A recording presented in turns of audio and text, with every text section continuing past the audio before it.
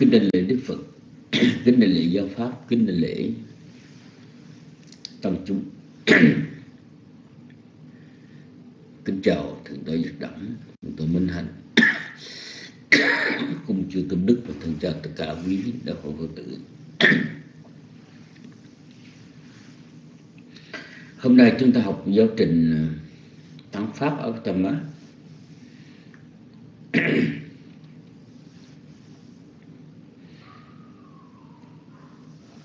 Tiếp tục sáu khía cạnh quan trọng của tâm thức. Và hôm nay là cái bài thứ sáu là vật và thú. Ở trong thắng pháp á, khi đề cập đến sáu vật và sáu môn chúng ta cũng cần phải chú ý.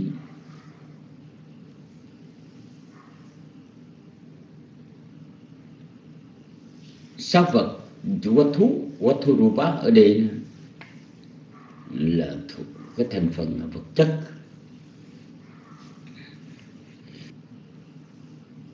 Làm chỗ nương cho tâm thức. Còn sáu môn tức chỉ chỉ cho ở sáu cái ngõ để cho cảnh hiện vào và tâm cái nương sanh. Thì ở trong sáu vật và sáu môn đó, nhãn vật là nhãn môn, nhĩ vật là nhĩ môn, tỷ vật là tỷ môn, thiệt vật là thiệt môn. Thân vật là nhưng mà ý vật không phải là ý môn môn không phải là ý vật.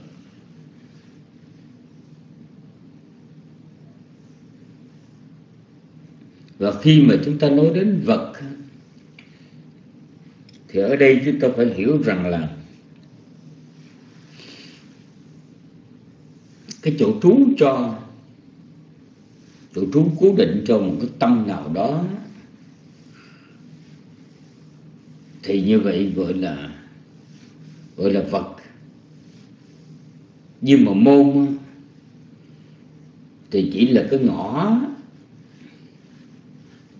để tâm diễn biến thí dụ như nhãn vật, thì nhãn vật chỉ là cái chỗ trú, nương trú của của tâm nhãn thức thôi. Nhưng mà nhãn môn thì lại là cái cửa ngõ để cho tâm nhãn thức và 44 tâm dục ý giới, ý thức giới nương nó đường xanh rồi nó nó bất cảnh bất cảnh sắc. Ở cái chỗ này chúng ta sẽ được hiểu sau khi chúng ta học về sáu vật có cái sự so sánh. Bây giờ thì uh, xin mời cô Lăng và Nguyệt đọc cho bài học. Sau đó xin cung thỉnh tự tọa rất đẳng. Giảng sư trong ngày hôm nay sẽ thuyết giảng bài học này. Nam mô bổn thầy nha.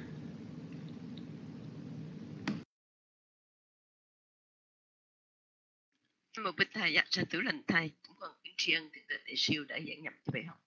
Bây giờ con xin được đọc phần chánh văn.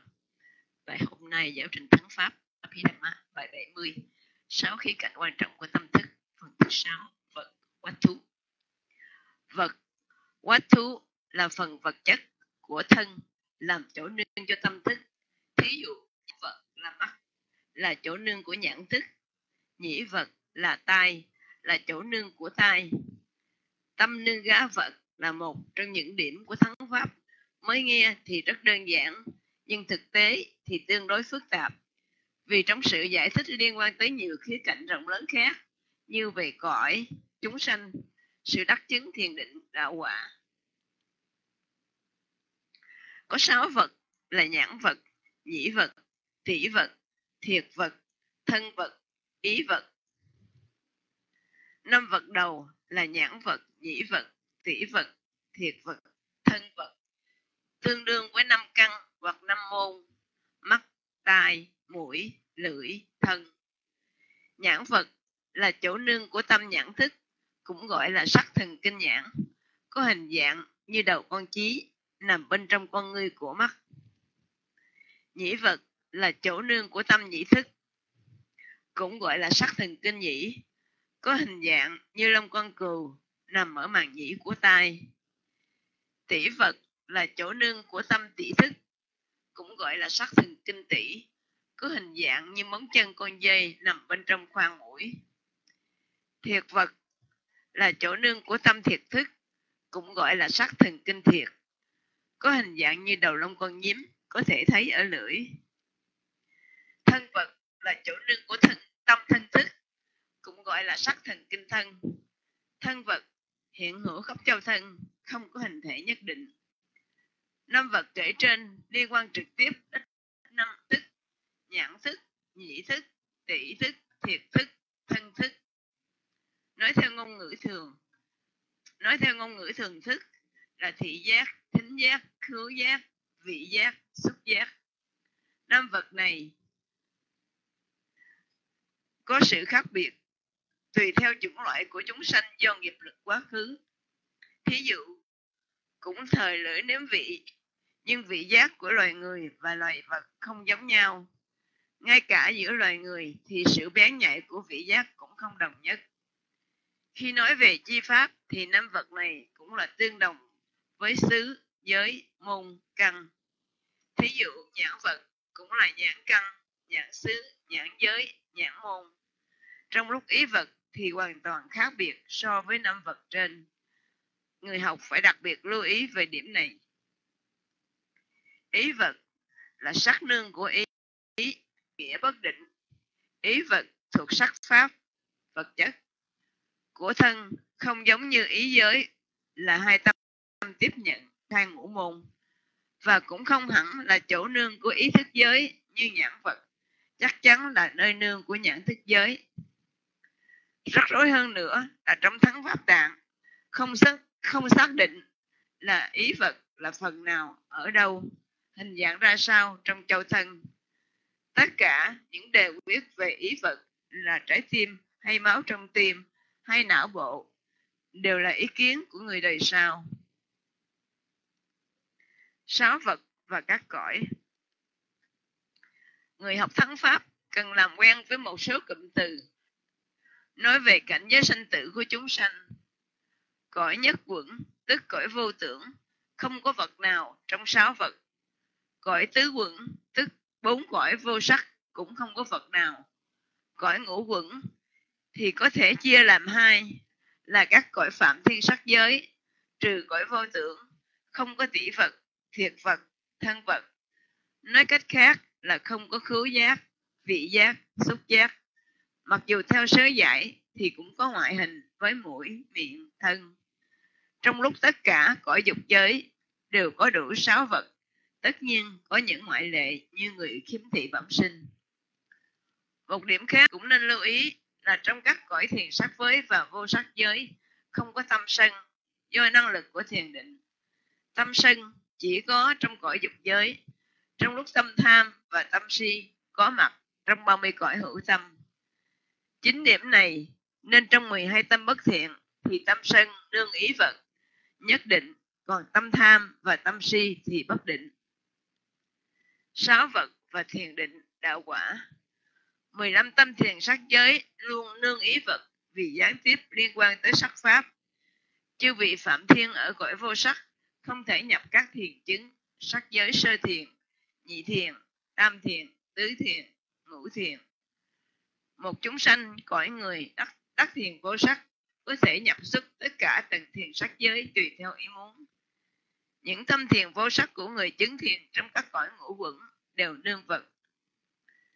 Tâm sơ đạo tu đà quần đạo phải nương ý vật và chỉ có thể sanh khởi trong những cõi vui ngũ quẩn chư vị phạm thiên cõi vô sắc, không thể từ phạm nhân chuyển sang thánh quả, mà chỉ có thể từ thánh quả này sang thánh quả khác. Sớ giải ghi rằng một người chứng sơ quả tinh văn phải được khai thị từ sự nghe pháp, mà điều này không thể xảy ra đối với chư thiên, đối với chư phạm thiên cõi vô sắc. Cũng nên nói thêm là chư Phật độc giác và toàn giác, mặc dù tự thân giác ngộ không cần khai thị nhưng chỉ xuất hiện trong cõi nhân loại. Tương quan giữa danh pháp và sắc pháp. Thắng pháp với đầm á nêu rõ sự liên hệ mật thiết giữa danh pháp tâm thức và sắc pháp vật chất với những điểm sau. A. À, tâm nương gá vật nhất định gồm ngũ song thức hai tâm sân ba tâm ý giới ba tâm kiểm tra tâm sinh tiếu 15 tâm sắc giới, tâm sơ đạo, tổng cộng là 25 tâm. B, tâm nương gá vật nhất bất định. Tâm nương gá vật bất định gồm 8 tâm tham, hai tâm si, tâm khai ý môn, tám tâm thiện dục giới tịnh hảo, tám tâm duy tác dục giới tịnh hảo, bốn tâm thiện vô sắc, bốn tâm duy tác vô sắc 35 tâm siêu thế, trừ 5 tâm sơ đạo tổng cộng là 70 tâm C. Tâm không nương gá vật, gồm bốn tâm quả vô sắc giới. Vì bốn tâm này chỉ có ở cõi vô sắc, trong chức năng kiết sanh thức, tiềm thức, tử thức của chư vị phạm thiên vô sắc. Nhìn chung thì tâm nương gá vật là điều tất yếu trong sự hiện hữu của chúng sanh. Nếu muốn tách tâm ra khỏi vật chất như để sanh vào cõi vô sắc cần năng lực siêu nhiên của ngũ thiền. Nói đến khía cạnh này, phải kể luôn chiêu vị phạm thiên cõi vô tưởng. Có nhiều điểm khi nói về sáu vật liên quan mật thiết đến phần nói về người, cõi và nghiệp. Khi nói đến ba đề tài đó, sẽ có nhiều điểm tương quan mật thiết tới sáu vật. Kinh văn đến đây đã chấm dứt. Chúng con cùng thịnh tự và chắc đẳng từ bi, thuyết giảng bài học. Nam mô bích thầy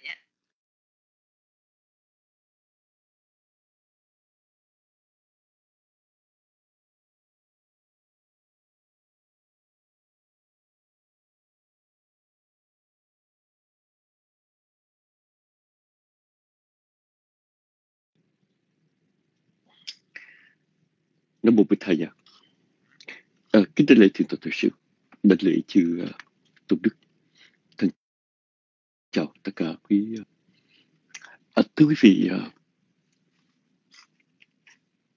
hôm nay chúng ta học qua bài uh, nói về sáu vật. Một ở một ở trong sáu khía cạnh quan trọng của tâm thức.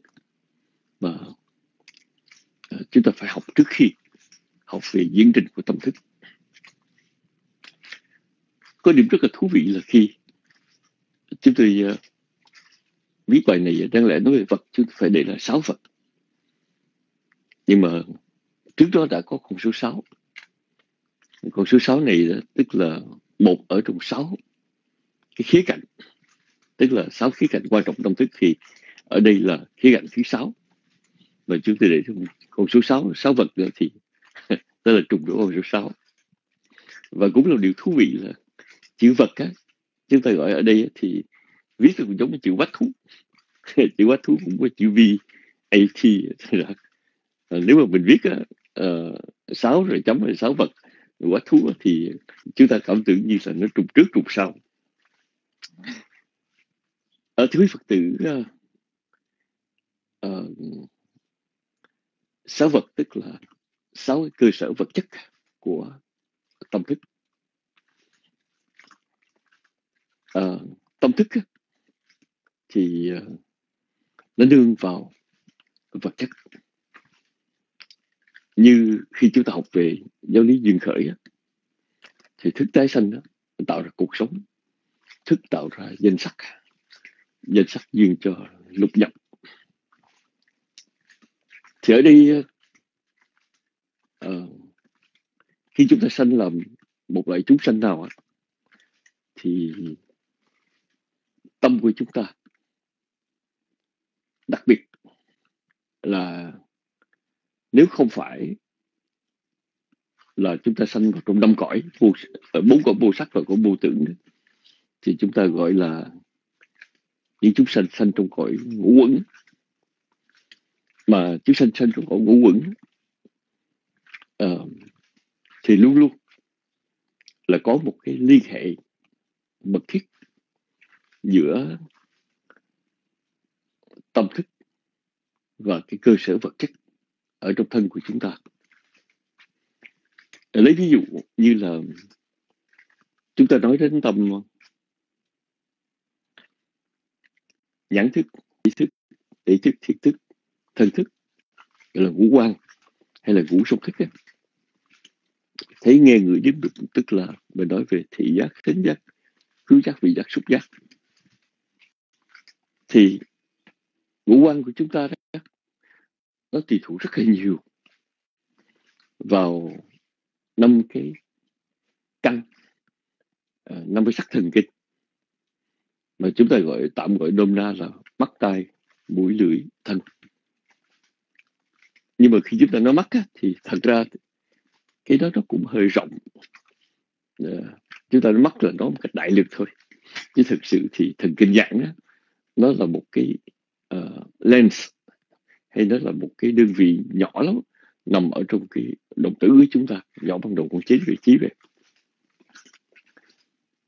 Thì thưa quý vị ờ, uh, mắt tai mũi lưỡi thân của chúng ta uh, nhãn nhĩ trí thiệt thân đó thì nó lại uh, do cái nghiệp quá khứ nó tạo nên do cái chủng loại hiện tại, và do đó nó có sự khác biệt. Cái mũi của chúng ta ờ, cũng là cái cơ sở vật lương giá của khứu giác của tâm tỷ thức. Nhưng mà thứ vị bởi vì chúng ta là con người, nên mũi của chúng ta không có bén nhạy như là mũi của con gấu hay là con chó. Có lần chúng tôi nói với vị là người ta đã ghi nhận một hiện một cái hiện tượng là con gấu có thể đánh hơi được thức ăn ở trong thùng rác cách khoảng 12 uh, 12 dặm Anh từ 12 miles. Đó là một ghi nhận khảo sát của uh, những nhà uh, nghiên cứu về con gấu ở đại học Winnipeg thật ra rất là khó tưởng tượng là làm thế nào mà lũ mũi có thể đánh hơi xa như vậy. À, chúng tôi biết rằng có một vài trường hợp mà con người của chúng ta cái xác chết có thể gần cả trăm thước mà mình cái mùi nó bay theo gió chúng ta có thể ngửi được. Nhưng mà thật ra rất khó tưởng tượng được là thực phẩm ở một nơi rất xa xa rất xa một con gấu có thể đánh hơi được hay trường hợp con chó cũng vậy yeah. Dạ. quý vị thấy rằng uh, ở Mỹ này có những cái lực những cái đơn vị quân khuyển và những cái mà chúng ta gọi là canai uh, ờ, những cái quân khuyển này đó được huấn luyện để đánh hơi bơm để đánh hơi uh, cần sa ma túy để đánh hơi trái cây nữa đã đánh hơi và phân biệt được là tài tình rồi. Nhưng mà bình thường thưa vị uh, ờ, những cái vật đó để trong vali mà chúng ta là vô phương. Không thể nào đánh hơi ra bơm giống ở chỗ nào được nhưng mà uh, con chó thì cái mũi nó có thể phân biệt được. Và khi đánh hơi gặp được cái đó thì nó nó sẽ có phản ứng liền và người ta biết là trong cái vali nào đựng trái cây trong vali nào đựng cần sa ma túy ở trong vali nào đựng chất nổ vật à, nó được huấn luyện thì ta biết được thì như vậy chúng ta thấy rằng tâm thức á, nó có nương gá vào cái cơ sở vật chất. Và cơ sở vật chất này nó tùy theo chủng loại. Và chủng loại này nó được tạo nên bởi ờ, sanh loại hay là cái nghiệp quá khứ. Yeah. Bởi vì chúng ta mới có cái gọi là thức duy danh sắc danh sắc duyên lục nhập vào danh sách danh sách ở đây nói nhiều về các uh, chủng loại của các chúng sinh. Cũng con mắt nhưng con mắt của chư thiên khác với con mắt của loài người mắt loài người khác với con mắt của loài vật. Chúng ta cũng nên nhớ rằng khi mà nói về sáu vật á, thì ở đây thuần là cái cơ sở vật chất nương gá của tâm thức. Dù là ý vật hồi nãy thì tôi từ siêu có đề cập và quý vị cũng nghe trong bài học. Ờ, chúng ta nói rằng uh, nhãn vật tức là con mắt. Nó đồng nghĩa với nhãn căn đồng nghĩa với nhãn xứ nhãn giới. Nhưng mà ý thì uh, ý vật khác với ý môn ý giới ý thức giới nó khác hoàn toàn. Vì điểm này chúng ta phải đặc biệt lưu ý. Thì thưa quý vị khi học về vật á, cũng cho chúng ta một số những chú thích rất là quan trọng về sự liên hệ đến diễn trình của tâm thức. Lấy thí dụ như là quý phật tử đã từng được nghe rằng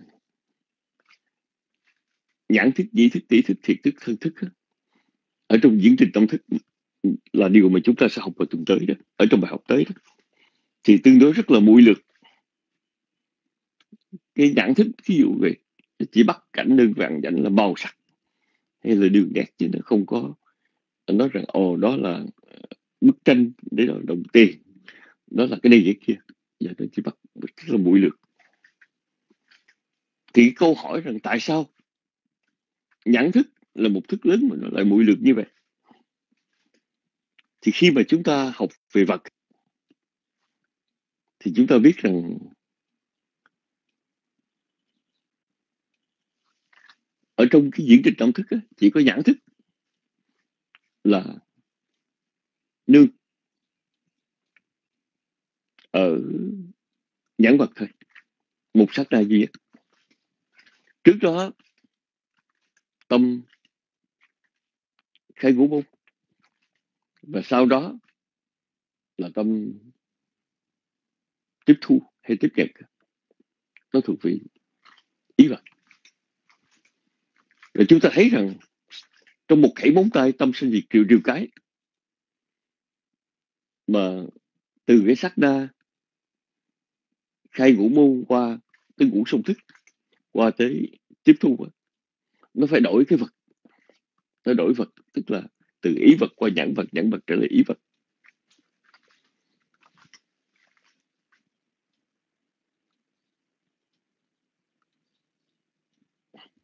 Mà chính điểm này,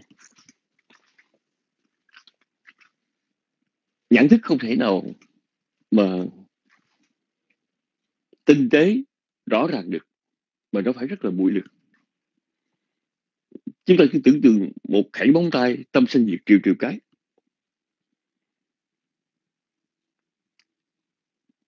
Trong lúc đó thì uh,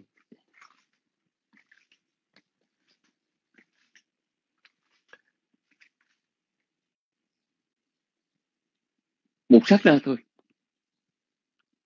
Nó nương vật này trước đó nương vật khác sau đó nương vật khác thì làm sao mà nó tỏ rõ được? Bởi vì khi chúng ta học về vật á, nó cho chúng ta nhiều gợi ý rất là quan trọng. Rất là quan trọng để chúng ta hiểu về một số cái chi tiết hết sức là tế nhị của những trình tâm thức. Thì thưa quý vị ờ, chúng ta nói đại lược đó là nhãn vật đó, là một cái vật thể rất là nhỏ như đầu con chí nằm ở trong cái con người của chúng ta. À, nhĩ vật á, là một cái vật thể có cái dạng giống như cái lông mà nó cong như lông con cừu á. Vì nào mà biết con lông cừu lông cừu nó không có thẳng mà nó cong lên nằm ở bằng nhĩ chúng ta. À, tỷ vật á, thì nó hình như móng chân con dê nằm ở bên trong cái khoang mũi của chúng ta.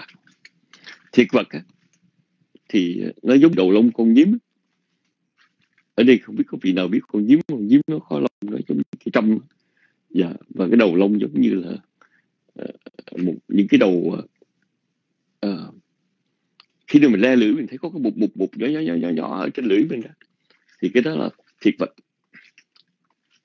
bởi vì được ví dụ như đầu lông con nhím và nhưng mà riêng về thân vật á thì không giống như bốn vật trên. Thân vật là nó là xúc giác hay là thần kinh thân của chúng ta. Thì nó có mặt ở khắp cả châu thân hết. Thí dụ như là cái lưỡi của chúng ta để nếm vị thì cái vị chua cay mặn ngọt mà chúng ta nếm á, thì cái vị đó được biết là chua cay mặn ngọt là do cái vị đó. Tiếp xúc với thiệt vật hay là thần kinh thiệt nằm ở trên cái lưỡi chúng ta. Nhưng mà khi nào chúng ta bị cancer so chúng ta bị đạn á uh, mà bị lỡ lưỡi cái lưỡi chúng, chúng, có lâu mình bị cắn lưỡi nóng quá lỡ lưỡi thì cái lưỡi lưỡi đau rát á cái đó không có tính là thiệt vật mà cái đó thuộc về thân tức là mặc dù nó lỡ cái lưỡi nó đau đó nhưng mà cái đau nó thuộc về xúc giác chứ không phải là không phải là vị giác mặc dù sẽ cái lưỡi. Cũng tương tự như vậy. Ví dụ như là mình nói con mắt á, là cảnh sắc. Nhưng mà khi ờ, con mắt cứ chưa bị nhậm bị đau á thì cái nhậm cái đau đó đó đau, đau mắt á nó nó bị sốn hay nó bị bụi vô hay này đó thì cái đó nó thuộc về nó thuộc về xúc giác chứ không tính là thị giác. Dạ yeah, không biết thị giác vì cảm thấy đau mắt cảm thấy bị sốn uh, hay là bị uh, bụi vô mắt chẳng hạn. Thì cái cái sốn của mắt á, nó không phải là thị giác mà nó thuộc về xúc giác. Nhưng mà thưa quý vị uh, nhãn vật nhĩ vật tỷ vật thiệt vật thân vật á, thì xem ra rất là đơn giản. Năm vật đó là năm cái cơ sở vật chất đương giá ở trong thân cho năm cái thức. Năm thức đó là nhãn thức nhĩ thức tỷ thức, thị thức, thân thức. Bây giờ chúng ta nói đến một cái vật thứ sáu, gọi là ý vật. Vật này thì rắc rối. Vật này rắc rối. Rắc rối ở nhiều phương diện lắm thứ nhất là chúng ta phải khẳng định rõ đó là ý vật.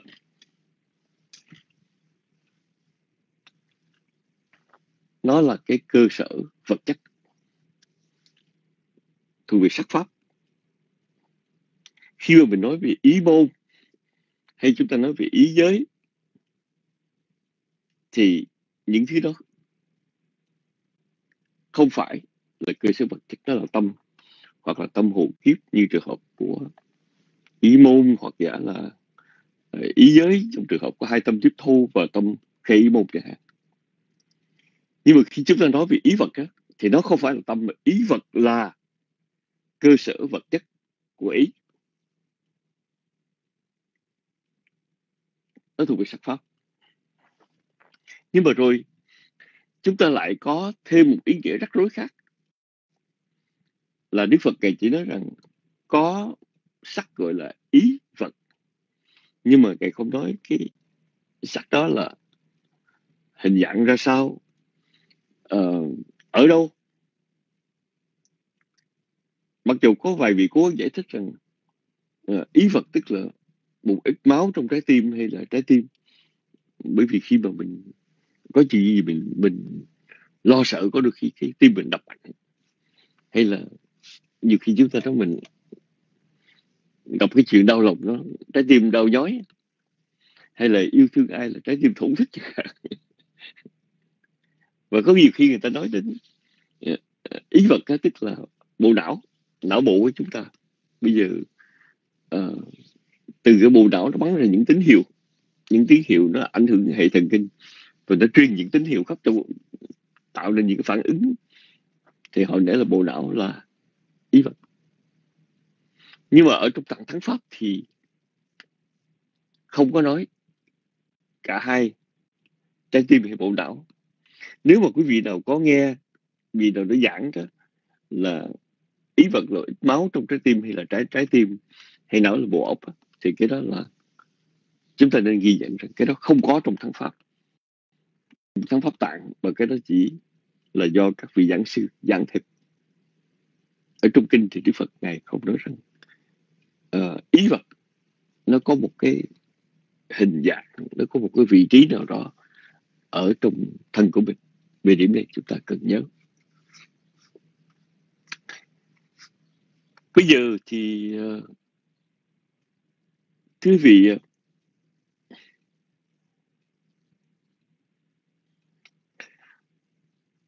để hiểu về ý vật đó thì chúng ta nên chú ý đến vài phương diện. Những cái điểm này đó thật ra mình chưa học tới. Học về người về cõi về nghiệp chẳng hạn chúng ta chưa học tới. Đó là một phần sau nữa sau diễn định tâm thức chúng ta sẽ học. Nhưng mà ngay trong hiện tại đó với bài học này chúng ta cũng nói sơ lược là người cõi nghiệp đó, có liên quan đến những cái vật này mà chúng ta không thể không chú ý. Và khi nào tới các cõi đó thì ờ, có một số các cụm từ mà chúng tôi muốn nêu lên ở đây để quý vị nhớ.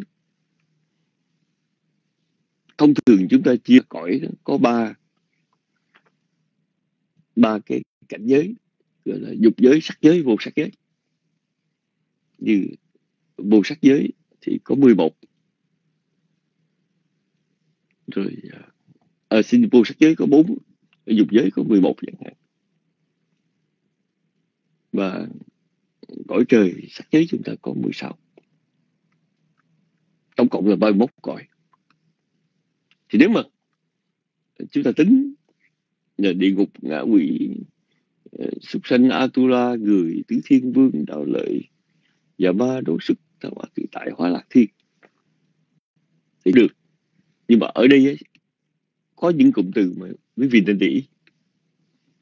Là cõi nhất quẩn. Tức là trong năm quẩn sắc thọ tưởng thức chỉ có một thôi. Đó là phạm thiên gọi vô tử. Sanh lên nó có thân. Nhưng mà thân này nó tạo nên do nghiệp. Ở trong cái thân đó không có vật nào hết không có nhãn vẫn có tâm luôn. Tại vì tâm á, nó nương vào cơ sở vật chất. Cơ sở vật chất gọi là vật. Vì không có tâm lấy gì là vật. Thành ra chư phạm thiên ở cõi vô tưởng đó, thì không có vật nào rồi, chư vị phạm thiên ở cõi vô sắc, gọi là những cái cõi tứ quẩn. Tứ quẩn tức là chỉ có thọ quẩn tứ quẩn, hành quẩn, thức quẩn mà không có sắc quẩn. Dạ không có sắc quẩn, không có vật chất. Thì cái không có sắc quẩn này đó, nó được xem như là cái cõi không có vật nào hết. Giống như cõi vô tưởng, không vật nào hết. Cõi vô tưởng thì có cái thân, nhưng mà nó lại cũng không có vật nào. Mà cõi vô sắc thì hoàn toàn không có sắc pháp và chỉ có tâm. Thì có vô sắc gọi là cõi tứ quẩn. Có thọ quẩn tướng hành quẩn hành thức quẩn. Nhưng mà cũng không có phật nào. Rồi những cõi còn lại, tức là 11 cõi dục giới 15 cõi trời sắc giới. Chúng ta gọi là 15 tại vì chúng ta trừ cõi vô tưởng ra. Thì những cõi này gọi là cõi ngũ quẩn. Ở trong những cõi ngũ quẩn này thì lại có những cõi ngũ quẩn vui. Tức là chúng ta trừ bốn cõi ác đạo ra. Còn lại gọi là cõi ngũ quẩn vui. Tại khi mình học thắng pháp đôi khi người ta có nói chuyện người ta dùng những cụm từ. Và những cụm từ này đề cập đến một cái nhóm nào đó. Như là cõi uh, nhất quẩn cõi tứ quẩn cõi, cõi ngũ quẩn. Rồi ngũ quẩn có ngũ quẩn vui ngũ quẩn khổ chẳng hạn. Ít có ai nói ngũ quẩn khổ lắm nhưng mà có ngũ quẩn vui của vui ngũ quận thì những cái này mình học lâu lâu phải để ý. Và cũng nhớ nhớ là tốt. Tại vì khi mà mình nói cõi vui của quận không có ai ngồi đó ờ, đọc cho mình nghe một loạt dài từ cõi người rồi ờ, uh, sáu cõi trời rồi ờ, các cõi trời uh, phạm thiên sơ thiền ba cõi nhị thiền ba cõi tam thiền ba cõi tứ thiền uh, hay là ngũ trình cư thiên vân vân người ta không có liệt kê ra. Mà chỉ nói là cõi vui của quận hay là cõi ngũ quẩn?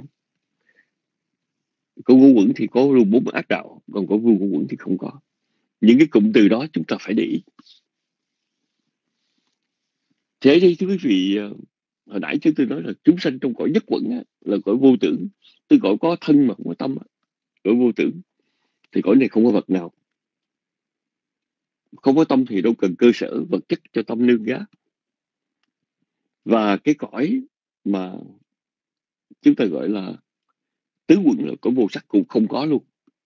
Tại vì như hồi nãy chúng ta nói là cả sáu vật nhãn vật dị vật tỷ vật thiệt vật thân vật và ý vật đều là cơ sở vật chất. Nó chỉ có cõi có sắc pháp á, có vật chất á, thì mới có sáu vật này. Cõi không có sắc pháp thì không có vật. Thành ra cõi vô tưởng và bốn cõi vô sắc là năm cõi đó hoàn toàn không có không có sáu vật. Và trong những cõi mà gọi là thì chúng ta phải nói như vậy là các cõi phạm thiên. Thì tại vì cuộc sống ở nó rất là tế nhị, do đó cõi phạm thiên không có tỷ thức, không có thiệt thức và không có thân thức. Nhưng mà điều này chúng tôi có chú thích đó là không có nghĩa là các vị không có tỷ thức không có thiền thức không có thân thức. Thì khi mà vẽ hình chỉ vẽ của con mắt và hai lỗ tai thôi mà câu phần ở dưới là liền lạc không có gì hết. Thì thứ vị theo trong sớ giải đó thì chư vị phạm thiên và chúng ta có ngoại hình giống nhau của mắt tai mũi miệng vân vân. Nhưng mà có mũi chứ không có không có không có nếp à, không có ngửi dạ, có lưỡi chứ không có nếm có thân chứ không có xúc chạm cái đó là cái mà chúng ta nên hiểu.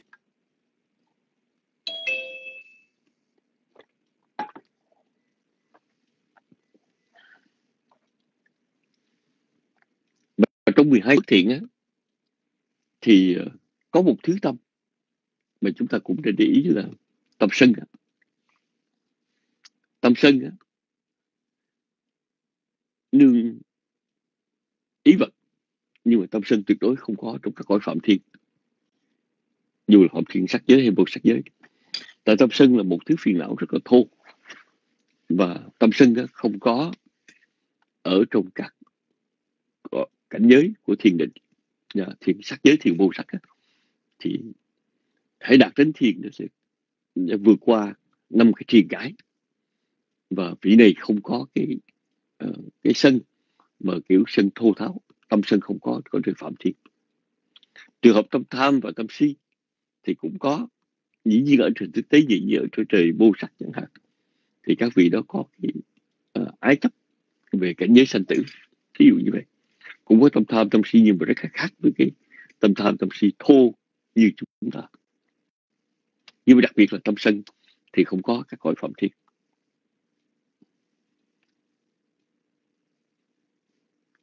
Bây giờ thì ờ, chúng ta nói về sáu vật liên quan đến thiền định và đạo quả. Thì thưa quý vị ờ, đặc biệt ở trong thắng pháp á, thì nêu rõ rằng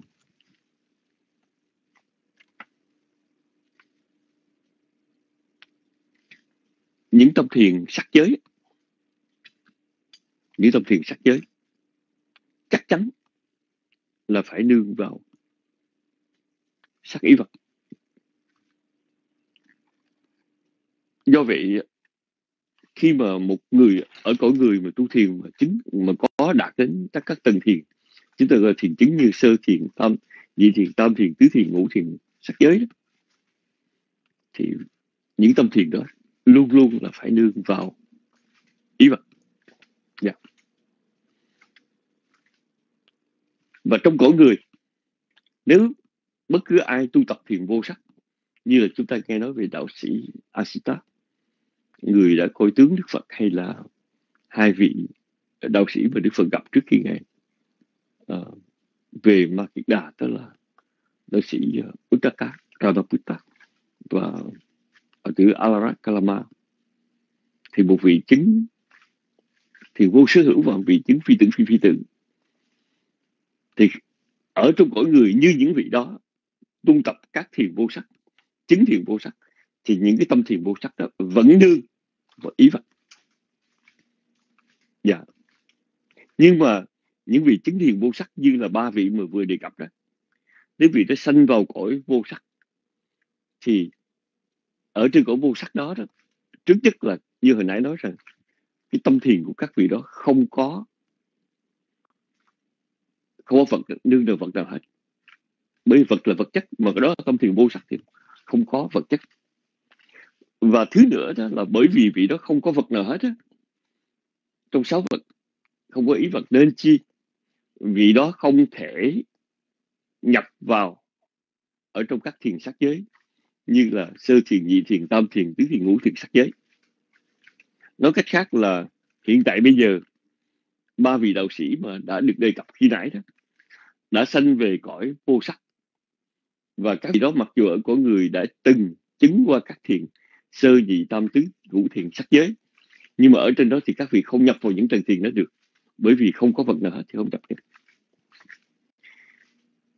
Nhưng mà riêng về những vị ở cõi người như là Đức Phật, của chúng ta hay là các đại đệ tử ngày sáng được Phật ngày Bục Tiên, và có những vị phàm tăng mà chứng thiền phi tưởng phi phi tưởng thì vẫn có khả năng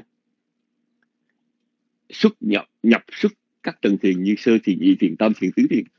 Chúng ta nghe đức phật ngày các ngày viên tịch đức bàn đó. Ngài uh, nhập sơ thiền xuất sơ thiền nhập nhị thiền xuất sơ thiền nhị thiền uh, nhập tam thiền xuất tam thiền vân vân. Thì ngài có thể uh, từ thấp lên cao thì có sự thấp xuất nhập tự tại. Nhưng mình chưa bị phạm thiên ở cõi trời vô sắc không có nhập những thiền sắc giới được tại vì các vị đó không có không thực hết và ở đây cũng có trường hợp um, khác mà uh, mà được nêu lên một cách rất là đơn lẻ đó là một vị mà chứng sơ đạo đó thì không thể chứng ở khỏi vô sắc. Mà cái tâm sơ đạo luôn luôn là phải nương vật bởi vì sao? Bởi vì cái vị mà chứng tu đạo huân á vị đó cần được khai thị. Hoặc giả là nghe diệu pháp. Hoặc giả là đọc về diệu pháp. Mà từ nghe từ đọc được khai thị chính đắc. Ra cái ở ở trong kinh mà nghe diệu pháp đó, là một ở trong những yếu tố vì tu đạo huân đó. Thì chúng ta biết rằng có ba hạng Phật là Phật toàn giác độc giác đó thì Phật còn giác độc giác từ thân giác ngộ. Mặc dù các ngày tự thân giác ngộ nhưng mà không bao giờ có trường hợp mà Phật độc giác toàn giác xuất hiện sanh ra xuất hiện thành đạo ở trên cõi trời vô sắc hay là ở cõi các cõi trời hết. Mặc dù tự thân giác ngộ. Mà chư Phật độc và toàn giác chỉ sanh ra hiện hữu ở trên uh, chỉ sanh ra ở cõi người thành đạo ở cõi người thôi. Còn các vị thinh văn giác á, thì lại có một đặc điểm là phải được nghe, phải được khai thị từ giáo pháp của Phật toàn giác. Và do vậy, các vị không thể sanh ở cõi trời vô sắc được. Nhưng mà nếu bây giờ có trường hợp về là một cái người cư sĩ hay là một vị tỳ kheo ở cõi người đã chứng tu đầu phần rồi mà tu thiền vô sắc, sanh về cõi vô sắc thì từ cõi ở trong cõi vô sắc thì từ cái quả vị gọi là sơ quả vị có thể chứng ờ, nhị đạo uh, rồi nhị quả tam đạo tam quả tứ đạo tứ quả. Tức là đã là bậc thánh rồi thì tiến lên những tầng thánh khác thì các vị hoàn toàn làm được. Nhưng mà nếu là phàm chưa đắc đạo chứng quả đó thì chư vị phạm thiên của vô sắc không thể không thể chứng sơ quả tu đầu sơ đạo tu đầu quân được không chứng sơ đạo sao chứng sơ quả được có nghĩa là bởi vì lý do là một vị thánh thinh văn á, thì cần được khai thị cần được nghe pháp. Mà ở trên cõi vô sắc thì uh, không có uh, thể nào nghe không thể nào thấy không thể nào đọc được thì lấy đâu đắc đạo chứng quả. Thật ra riêng về tâm sơ đạo đó. Dạ, về tâm sơ đạo thì không có. Nhưng mà nếu đã đắc đạo ở dưới cõi này rồi sanh lên đó là vị sơ quả rồi thì có thể tiến lên và có thể tiến được thành ra. Khi mà chúng ta đề cập đến các vật á thì chúng ta nhớ là trên phương diện thiền định và đạo quả đó là uh, đó là điều mà uh, chúng ta nên biết. Chúng tôi cũng muốn uh, nói đến một cái đoạn uh, sau cùng của bài học là sự tương quan giữa danh pháp và nếu chúng ta suy nghiệm cho kỹ trong bài học này đó thì chúng ta thấy rằng một chúng sanh ở đời mà có thể trong cái sự hiện hữu của mình mà tách rời khỏi tách rời ra vật chất và tâm thức đó, thì vị đó phải là cái nói thì ngôn ngữ của chuyện kiếm hiệp đó là nội công thâm hậu. Mà nói theo trong Phật pháp là là thiền chứng phải cao thâm lắm. À, thiền chứng cao thâm đó, chứng ngũ thiền mà chán cái đời sống nội tâm thì ta nguyện sanh về cõi không có tâm. Không tâm ở đây chúng ta gọi là có vô tưởng. Không phải tự nhiên mà mình sanh về cõi vô tưởng được. Chúng ta không phải tự nhiên sanh cõi vô tưởng được mà chúng ta phải có ngũ thiệt, tức là cái tam mùi định phải rất là mạnh. Và một vị mà chứng thiền vô sắc để sanh về cái cõi không có sắc quẩn không có vật chất thì cái thiền vô sắc cũng là một cái thiền cảnh giới rất là cao tức là muốn đạt đến cảnh giới nó không phải dễ. Tức là muốn đạt cái cảnh giới mà hoặc là chỉ có thân mà không có tâm hoặc chỉ có tâm mà không có thân không, không dễ. Không dễ. Đa số cái bình thường á chúng ta ở cõi ngũ quẩn sắc thọ tưởng hành thức có danh có sắc á, thì đó là chuyện bình thường. Rất là bình thường. Mặc dù những cái cõi phạm thiên ngũ quẩn á, thì đòi hỏi là có thiền chứng sơ dị tam tướng ngũ thiệt. Và những cái vị chư thiên ở các cõi trời, dục giới, như là tứ thiên vương ờ, đau lợi và so ờ, và ma đấu sức khóa lạc thao hóa tự tại, và ngay cả con người chúng ta đều phải có phước. Bốn đường ác đạo thì do cái bản lực của bất thiện nghiệp. Nhưng mà căn bản mà nói đó, thì dựa trên cái nhìn về sáu vật thì chúng ta thấy rằng muốn tách rời tâm thức và vật chất ra thì phải có năng lực rất là siêu nhiên của ngũ thiền. Uh, có năng lực siêu nhiên ngũ thiền mới là một cái nguyện lực uh, có thân mà không có tâm như cõi trời vô tưởng. Hoặc giả là uh, sanh về cõi vô sắc chỉ có tâm không có thân. Dạ yeah. cái chuyện đó không phải là chuyện dễ dàng. Thưa quý vị uh, khi mà mình học vào uh, sáu vật này thì chúng ta phân biệt là Ờ, có những cái cõi ờ, có những cái tâm mà nương vật có tất cả là cố định. Yeah, cố định. Ở tại đây ờ, nếu quý vị đọc kỹ thì thấy rất là rõ. Những cái tâm mà không thể nào mà không có uh, vật thì ở trong đó có ngũ sông thức. Ngũ sông thức là 10 cái cặp uh, 10, 10 cái năm cặp tức là cặp nhãn thức, cặp dĩ thức cặp tỷ thức, cặp tiền thức, cặp thân thức ở ngũ sông thức. Thì nhãn thức thì bắt buộc phải có nhãn vật, nhĩ thức thì phải có nhĩ vật. Ờ, tỷ thức phải có tỷ vật thiệt thức phải có thiệt vật, thân thức phải có thân vật. Hai tâm sân, như hồi nãy nói rằng hai tâm sân chỉ có ở trong cõi dục giới. Hai tâm sân không có ở phạm thiên sắc giới và phạm thiên vô sắc giới. Thì không có trường hợp nào mà tâm sân sanh ra mà không có nương vật thành ra gọi là bất định à, gọi là cố định. Ba tâm ý giới tức là khai ngũ môn hai tiếp thu. Thì ờ, uh, ba tâm ý giới chỉ có ở trong những cái cảnh những cái cõi mà chúng ta gọi là cõi cõi cõi có uh, cõi ngũ quấn thôi. Thành ra bắt buộc là nó nương vật uh, ba tâm kiểm tra uh, tức là ba tâm quan sát đó tâm sinh tiếu. À, sinh tiếu không có sắc thì không có cười được. Mình cười là phải có sắc phải có quý vị. Mà bây giờ có sắc thì tức là phải có vật thôi. Dạ, Và 15 tâm sắc giới tức là tâm thiền sắc giới luôn luôn phải có vật. Tâm sơ đạo tổng cộng là 25 tâm. Tâm nương giá vật bất định đó, thì gồm có 8 tâm tham hai tâm si. Hồi nãy chúng tôi thì giải thích tại sao trong 12 tâm bất thiện đó, thì uh, hai tâm sân lại là cố định mà hai tâm uh, tám tâm tham mà hai tâm si lại bất định. Bởi vì tâm tham hay là ái chấp có thể khởi lên ở chư vị phạm thiên vô sắc giới. Dạ.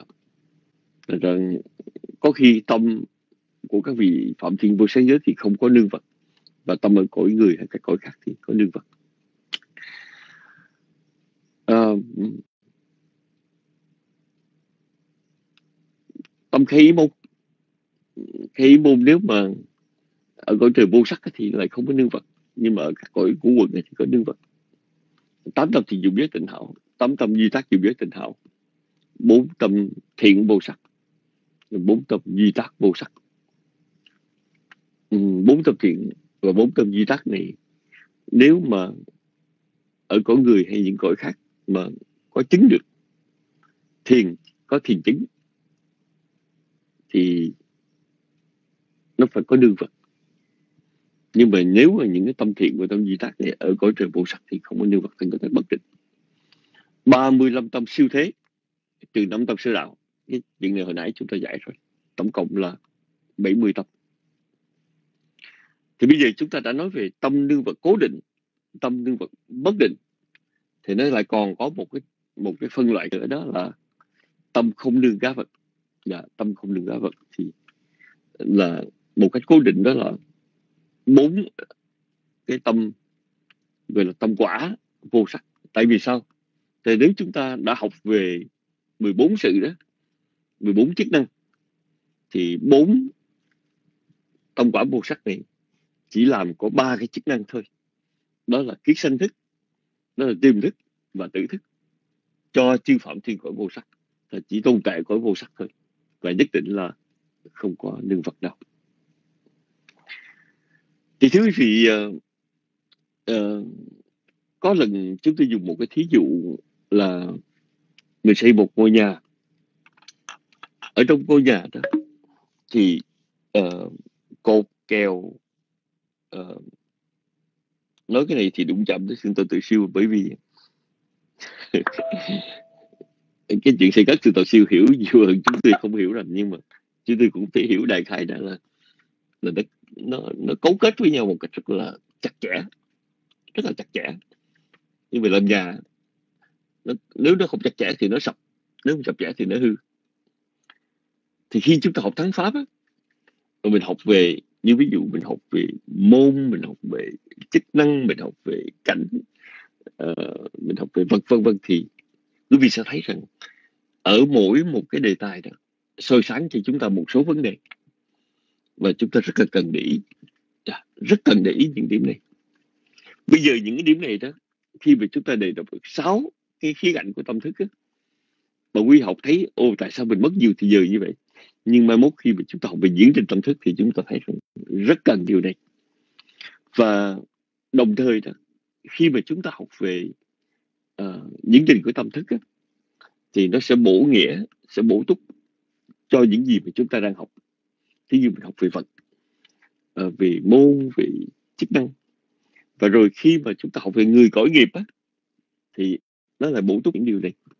Về việc học thắng pháp có cái hay như vậy thưa quý vị là ở một cái ờ, phân đoạn nào đó ở một giai đoạn nào đó thì mình thấy rằng nó cái này nó rời rạc trong liên quan tới cái kia nhưng mà càng học rồi càng thấy nó liên lạc với nhau. Và không thể nói sai, nói thiếu được. Nói sai, nói thiếu thì nó có nhiều vấn đề lắm. Dạ. Và chúng tôi thì có cái đức tin là thánh pháp không phải là một tác phẩm được viết lên một cái đơn thuần, là một cái ờ, tác phẩm được trước tác bởi một tác giả.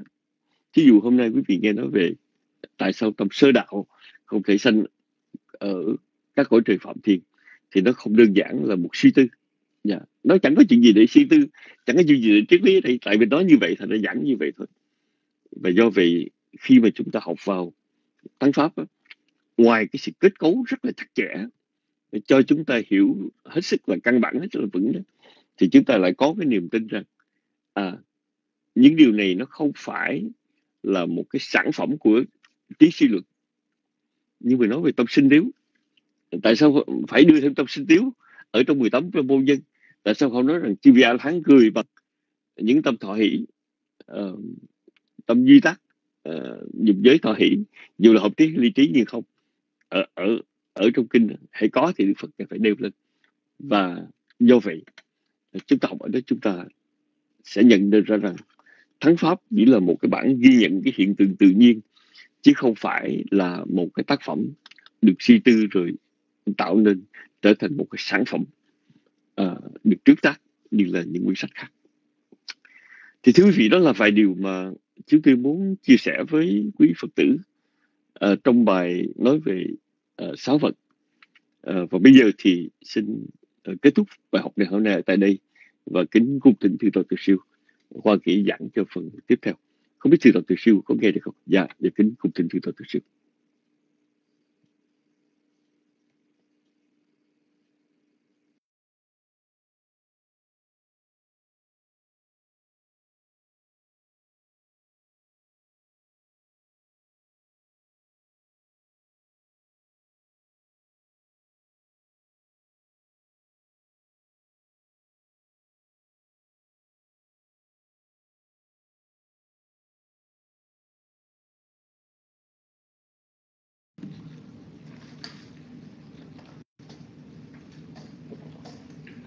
Nam mô bụt thầy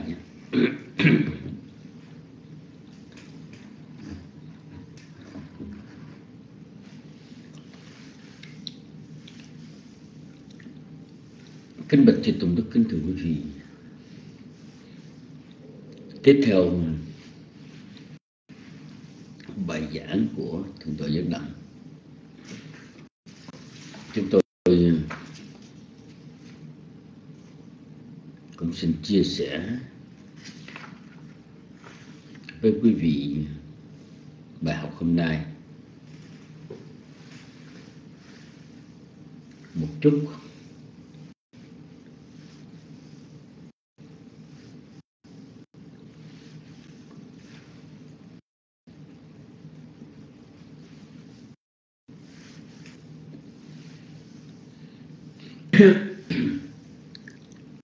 trước hết chúng ta nên nắm tổng quát.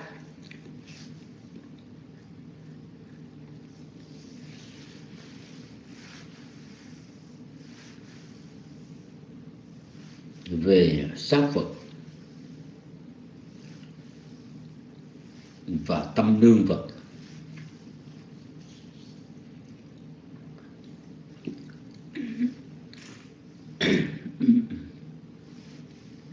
thì ở đây thưa quý vị.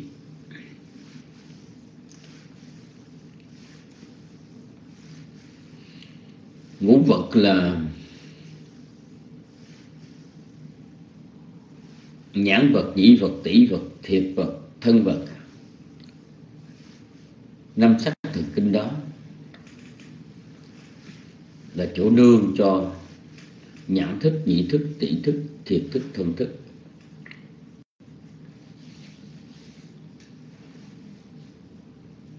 Như vậy thì ngũ vật chỉ làm chỗ nương cho 10 10 tâm thôi. Gọi là ngũ sủng thức.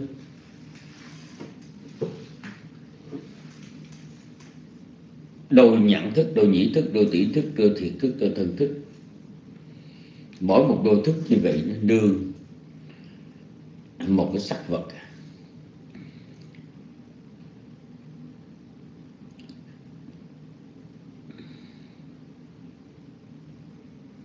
Riêng về ý vật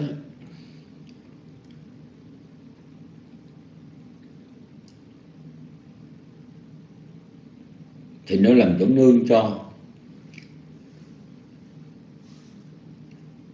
ý giới và ý thức giới, trừ. Trong ý thức giới đó trừ ra bốn quả vô sắc bởi vì, bốn quả vô sắc.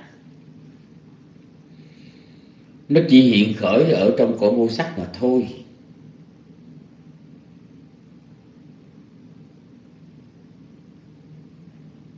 Với cõi sắc giới, cõi dục giới thì không có thể nào chứng được cái quả vô sắc cho nên quả vô sắc chỉ là chỉ xuất hiện, chỉ hiện khởi ở cõi vô sắc. Trong trường hợp làm việc tục sinh một kiếp và tử cho phạm thiên vô sắc. Mà cõi vô sắc thì cõi không có sắc pháp không có sắc quấn.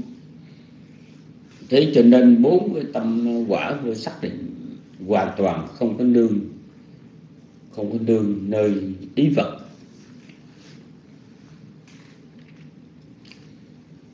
thì như vậy chúng ta trừ ra 14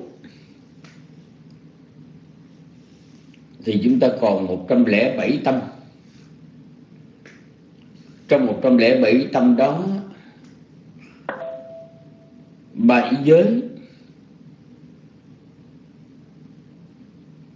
và 104 tâm ý thức giới.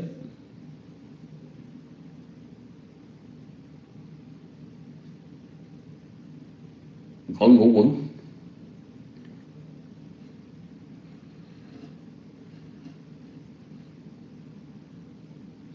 Là đưa vào cái sắc ý vật. Nhưng mà ba tâm ý giới đó anh nương sắc ý vật nhất định. Tức là hai tâm tiếp thu với tâm khai ngũ môn là nơi nương nhất định. Ba tâm ý giới. Còn 104 tâm ý thức giới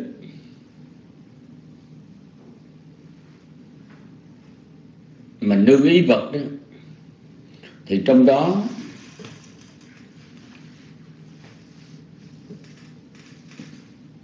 có trường hợp nhất định và trường hợp bất định.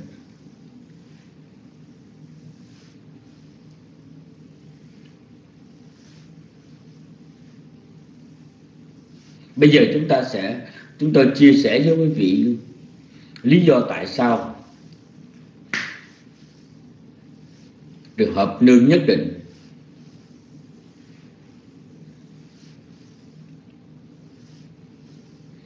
Dưỡng tông ý thức giới mà nương ý vật nhất định đó,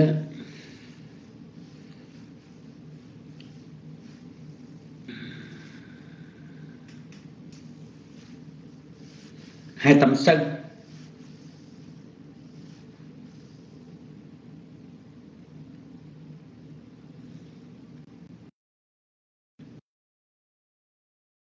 đừng ý vật nhất định là bởi vì tâm sân nó chỉ hiện khởi ở trong cõi dục giới mà thôi. Chúng ta nhớ là các vị phạm thiên sắc giới, vô sắc giới là không không bao giờ có tâm sân. Cái đặc tính của các vị là mát mẻ. Do thiền, do mãnh lực của thiền.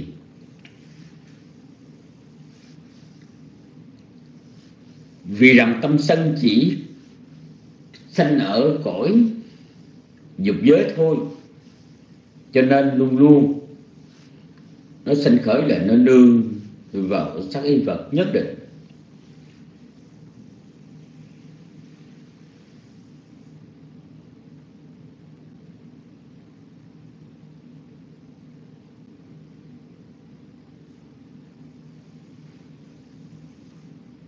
Ba tâm quan sát.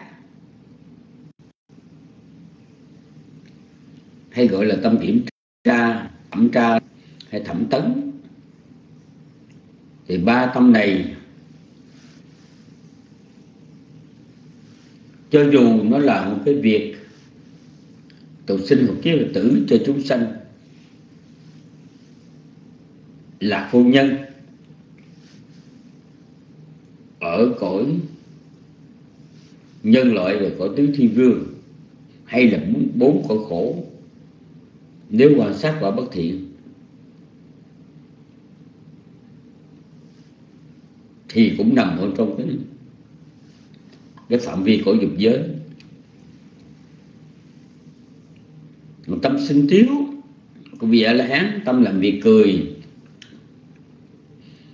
phải đưa ý vật nhất định tại sao vậy? Là bởi vì quý vị cứ nghĩ một vị phạm thiên vô sắc a la hán ngài không có sắc pháp vị a la hán đó chỉ có bốn dinh quẩn, thì như vậy làm sao cười được mà có tâm sinh tiếu? cho nên, nếu mà nó chỉ xuất hiện ở dưới cõi ngũ quẩn á tâm sinh tiết chỉ xuất hiện trong cõi ngũ quẩn, thì như vậy là nương ý vật nhất định. 15 tâm sắc giới cũng nương ý vật nhất định bởi vì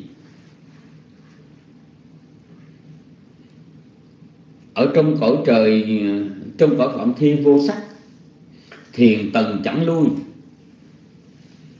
do đó đã đạt đến cái thiền vô sắc. Thì cái cõi thức không vô biên xứ. Nó chỉ có thiền không vô biên xứ, thiền thức vô biên xứ, thiền vô sở xứ, thiền vi tử vi tử xứ. Cái cõi thức vô biên thì chỉ có cái tầng thiền thức vô biên xứ, vô sở xứ, vi vi tử xứ.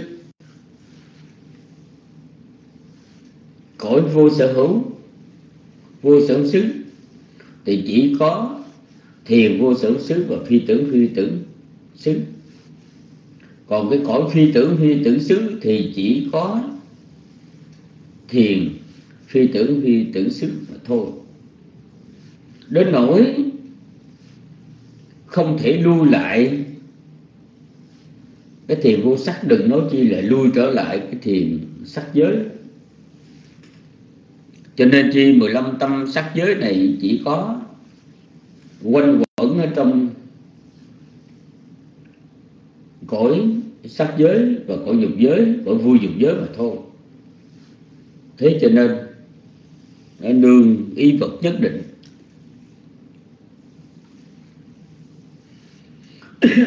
tâm sơ đạo tức là tâm tu đời quận tâm đạo tu đồ quần. Cái tâm ờ, tu đồ quần đạo, tức là ờ, chuyển tập từ phàm phu tánh. Chuyển tánh vô trà phu, từ phàm phu sánh mà sang thánh tánh. Mà thánh tánh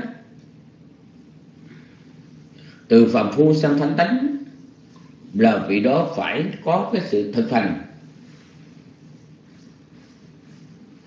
Thiền hay là nghe pháp mà đắc được đầu quả tu được quần do nghe pháp hoặc là do hành thiền. Mà cái cõi vô sắc á, thì đâu có phạm thiên vô sắc đâu có. Thần kinh dĩ đâu mà nghe pháp, nghe đức phật thuyết pháp.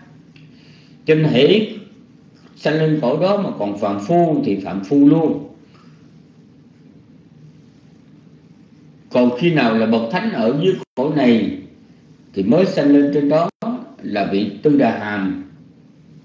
Vị tu đồ quần, tư đà hàm ma la hàm ma la hán ở trên đó. Được. Nhưng mà hãy phạm phu vô thu chân đá mà sanh lên cõi vô sắc thì vô phương không có đắc được đạo quả. Bởi vì không có thể chuyển tánh được. Vô tra phu không có thể vô tra phu. Lý do là không thể nghe pháp và không thể hành hành thiền định tứ niệm xứ được. Bởi thế năm tâm sơ đạo, tức là sơ đạo sơ thiền, sơ đạo nhị thiền, sơ đạo tam thiền, sơ đạo tứ thiền, sơ đạo ngũ thiền. Thì năm tâm sơ đạo đó chỉ có, chỉ nương. Nhất định vào sắc y vật. Đó là lý do. Bây giờ chúng ta lại nói đến cái tâm nương giá vật bất định gồm tám tâm tham, hai tâm si. Chúng ta nghe đọc rồi thì chúng ta biết rồi. Mười tâm bất thiện này thì lại có mặt ở trong cái cõi vô sắc. Mà hễ có, khi nào mà có có mặt ở trong cõi vô sắc thì nó không có nương vật chỉ khi mà nó hiện khởi ở trong cái cõi ngũ quẩn thì nó mới có nương vật mà thôi. Như vậy thì có nương vật, có lúc nương, có lúc không nương nhưng tám tâm tham hai tâm sân, gọi là bất định. Rồi tâm khai môn cũng bị. Tâm khai môn thì nó sanh khởi, đủ 30 cõi hữu tâm, trừ cõi vô tưởng thôi trong 30 cổ hữu tâm đó thì 26 cổ ngu quẩn và bốn cổ vô sắc. Tâm khai môn ở trong cổ, cổ ngũ quẩn thì nó làm hai vai trò. Một là Votapana tức là ở trong cái lộ trình tâm ngũ môn bắt cảnh sắc tinh khí vị xúc đó, thì tâm khai ý môn nó đóng cái vai trò Votapana là phân đoán là tâm phân đoán hay là tâm đoán định. Còn ở trong lỗ ý môn thì nó đóng vai trò là khai môn. Cho lỗi. Thì do đó, ở trong cõi trời phạm thiên vô sắc thì vẫn có lỗi ý môn. Không có lộ ngũ môn nhưng có lỗ ý môn. Và hãy có lộ tâm ý môn như vậy thì khởi đầu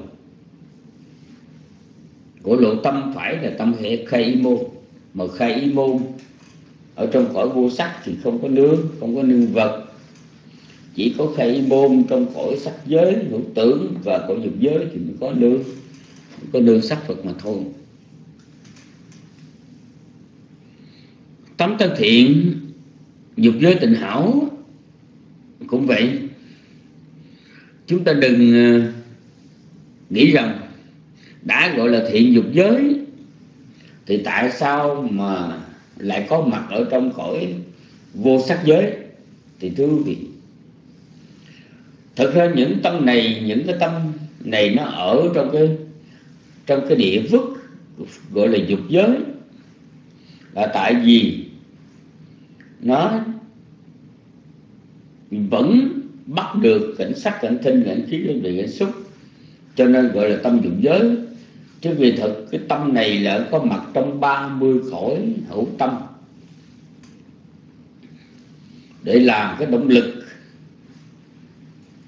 cho việc thấy nghe ngửi đếm đụng và suy nghĩ. Thì do đó khi mà nó xuất hiện trong tâm đại thiện này mà nó xuất hiện trong cái cõi vô sắc ấy, thì nó không nương vật. Mà xuất hiện ở trong cõi sắc giới và cõi dục giới cõi sách giới vô tưởng mà dục giới đó, thì lúc đó nó mới nương mới nương vật nương sắc y vật cho nên gọi bất định. Tám tâm duy tác cũng, cũng tương tự như vậy. Tám tâm duy tác dục giới tịnh hảo thì nó cũng nương.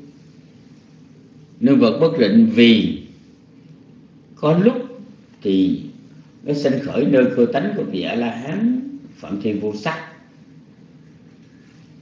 Có lúc nó cũng có thể sanh khỏi nơi cơ tánh của vị a la hán trong cõi sắc giới hữu tưởng và cõi dục giới nữa. Hãy sanh trong cõi vô sắc á, sanh sanh khởi cõi vô sắc á, thì nó không có nương vật. Mà sanh cõi ngũ cõi sắc giới hữu ngũ quẩn và cõi dục giới thì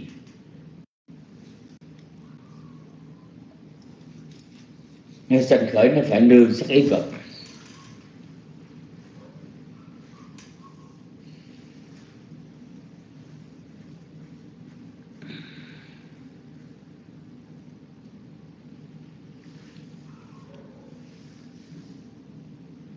có tám tâm, nương ý vật cũng là bất định nữa, đó là bốn tâm thiện, vô sắc, bốn tâm tố, tâm duy tác vô sắc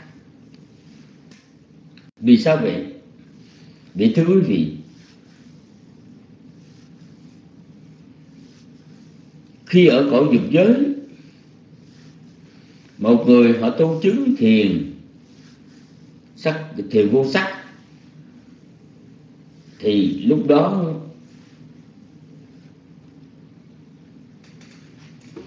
vị hành giả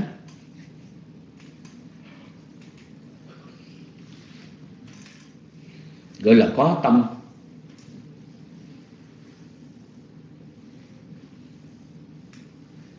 Thị vô sắc, hoặc là vị a la hán ở dưới cõi dục của sắc giới này mà tu chứng thì vô sắc, thì gọi là bốn tâm, duy tác vô sắc. Cái đó cũng bất định thôi. Bởi vì thị vô sắc về duy tác vô sắc thì nó vừa có thể hiện khởi trong cõi dục giới sắc giới, mà cũng có thể hiện khởi trong cõi vọng thiên vô sắc. Mà hãy ở cõi vọng thiên vô sắc thì nó không có nương, không có nương sắc vật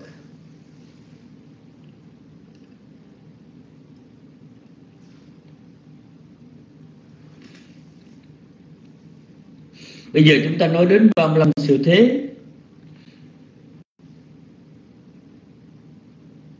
Chúng ta bỏ năm tâm sơ đạo. Thì 35 tâm siêu thế, Trong đó năm tâm nhị đạo, năm tâm sơ quả, năm tâm nhị đạo, năm tâm nhị quả, năm tâm tam đạo, năm tâm tam quả, năm tâm tứ đạo, năm tâm tứ quả.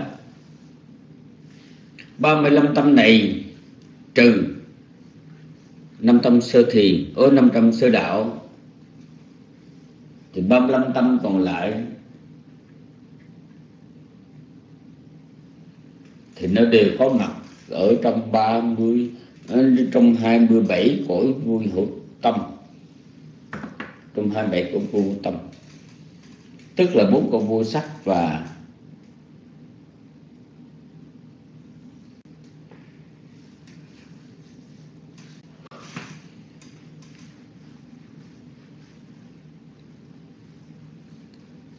hai mươi hai cõi vui ngũ quẩn. 22 cõi vui ngũ quẩn đó là bảy cõi vui dục giới cõi nhân loại, sáu cõi trời, sáu cõi chư thiên. Rồi là là là là bảy. Bảy cộng thêm với 15 cõi sắc giới hữu tưởng nữa là 22 22 tâm này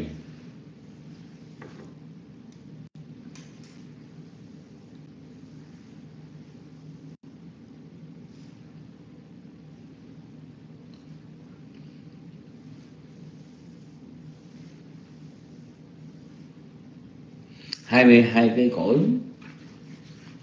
cõi vui hữu sắc, với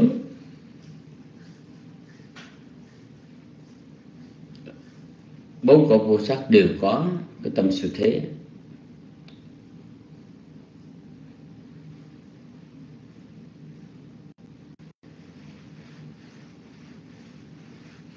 Bây giờ chúng ta lại nói qua cái tâm không có nương vật. Ở đây tâm không nương vật, chỉ có bốn thứ tâm.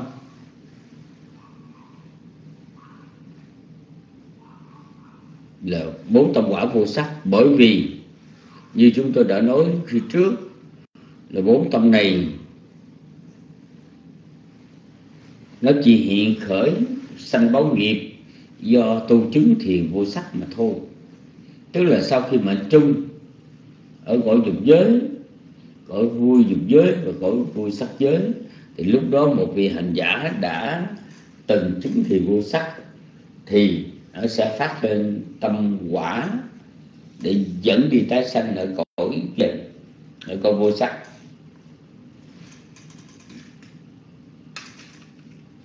Và khi đã sanh về cõi vô sắc rồi thì trên trong cõi vô sắc tiếp tục đóng cái vai trò làm việc hộ kiếp cho quan giá và tử chú tiết cho cho đời sống của một vị phẩm thiên.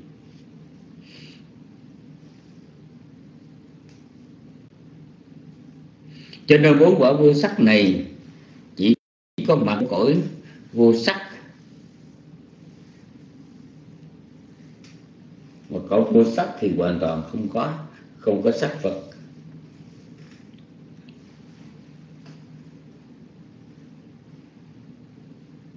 thì đó là cái lý do tại sao tâm nương vật nhất định và lý do tại sao tâm nương vật bất định. Có trường hợp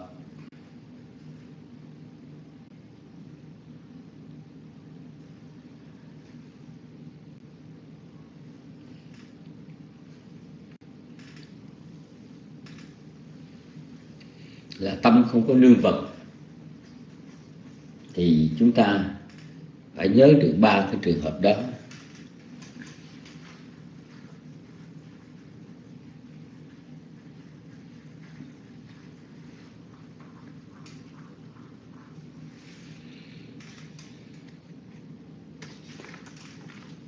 Và ở đây thưa quý vị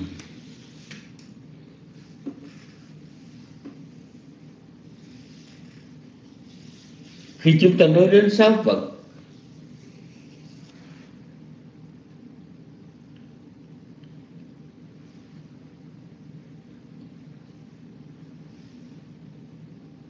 thì chúng ta có nói đến sắc ý vật chúng tôi nhắc lại cái điều này nữa. Cái sắc ý vật hay là vô thuốc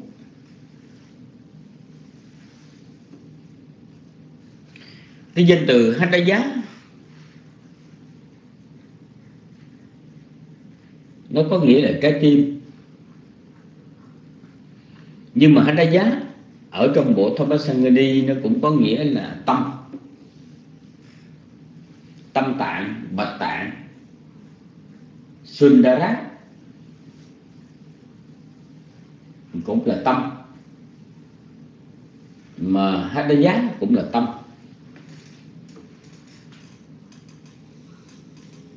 Cái chữ tâm ở trong ờ, chữ hán đó, chữ tâm nó cũng có nghĩa là thức. Mà tâm nó cũng có nghĩa là tim. Thí dụ tâm can tỳ phế thận là chỉ về trái tim thì chữ hadayo thú ở trong Bali cũng vậy đó. Vừa đồng nghĩa với chữ chích tá là tâm. Mà chữ giá nó còn có nghĩa là bằng sa giá tức là cái trái tim bằng thịt tuy nhiên, nói về cái sắc y vật hay là do thú,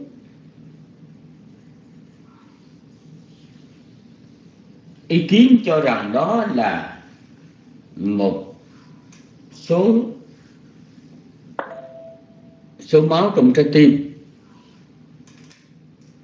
gọi là sắc nghiệp trong trái tim. Rồi có một số học giả thì họ cho rằng là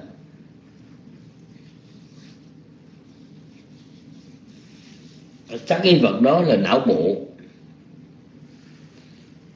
Nhưng đây chỉ là ý kiến của đời sau thôi. Còn ở trong chánh tạng, trong nhất là trong cái bộ vị trí bạch thành á, khi đức phật ngài trình bày thì ngài dùng cái từ gọi là văn rupang nisaya yang rupang nisaya chitta cetasika thamma upatanti à. à không, thưa quý vị. Dân rupang nisaya mano thả tú chắc mano thả tu dù chắc upatanti tăng rupang hay là dậu thú.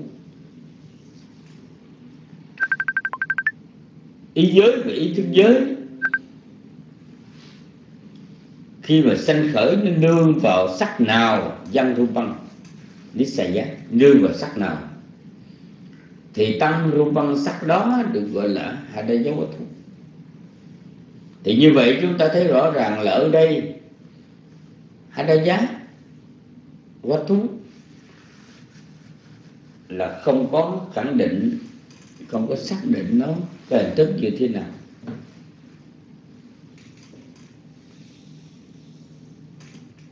Bởi vì có những loài bằng sinh, có những loài côn trùng, nó không có hadaya không có cái trái tim, và có những loài nó không có cái bộ não. Thì hỏi vậy, những cái những cái loài đó, nó không phải là chúng sanh sao? Thì chúng ta trả lời phải, nó là chúng sanh.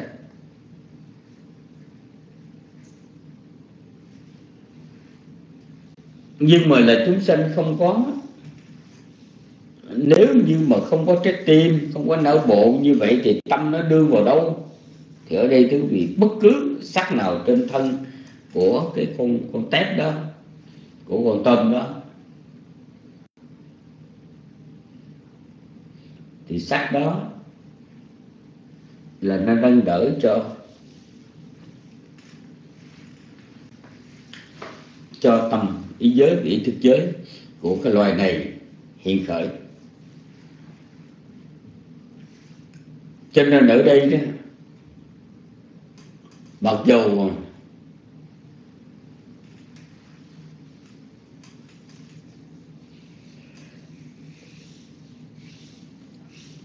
chúng ta nói nhãn vật nhĩ vật tỷ vật thiệt vật thân vật. Cái hình thức như thế này như thế này nhưng mà cho đến ý vật thì chúng ta không không nên nêu rõ cái hình thức là cái gì.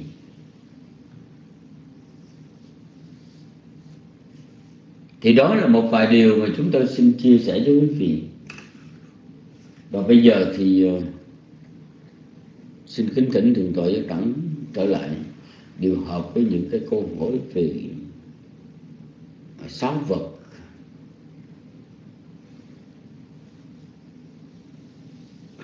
Trong bài học hôm nay, nam mô thầy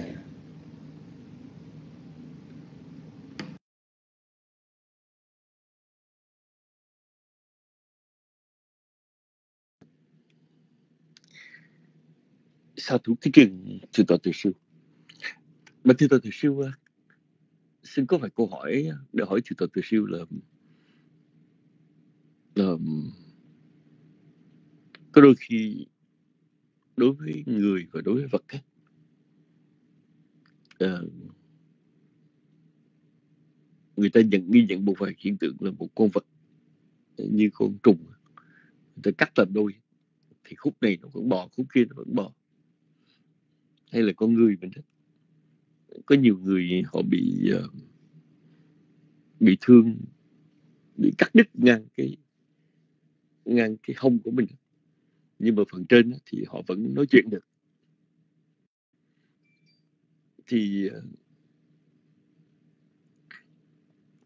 phải chăng là trong cái nhìn của thiền tọa từ siêu thì ờ, đối với thắng pháp á, thì có một số cái cơ phận của thân thể đó nó bắt buộc phải có có có giờ quý vị bọn kỹ chơi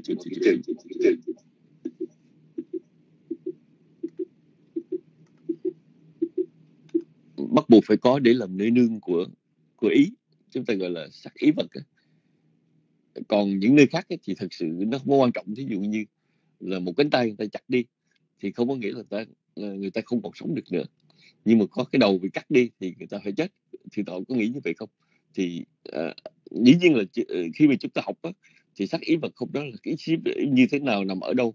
Nhưng mà có những trường hợp mà cái cơ thể bị cắt đứt một phần nhưng mà rồi cái phần kia thì nó không thể không thể hoạt động bình thường. Mà cái phần nọ đó thì nó vẫn còn có cái ý thức được. Uh, thì như vậy ở trong cái châu thân mình cũng có những chỗ mà uh, chúng ta tạm gọi là gọi là cái phần trọng yếu của sắc ý vật. Có phải như vậy không tọa và thỉnh thoảng có những con vật như con đĩa chẳng hạn ta nó cắt lên đôi thì phần nào nó cũng nó cũng sống được thì người ta nó có phải trường hợp nó bị phân tâm không? Hay là uh, từ một nó biến thành hai hai biến thành ba không? Xin ờ, uh, cái thưa ý kiến của thượng tọa.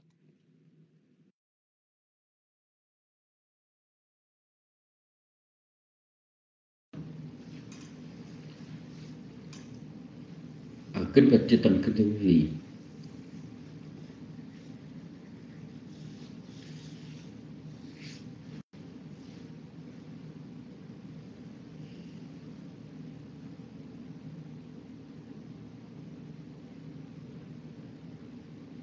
thực ra thì không thể nói rằng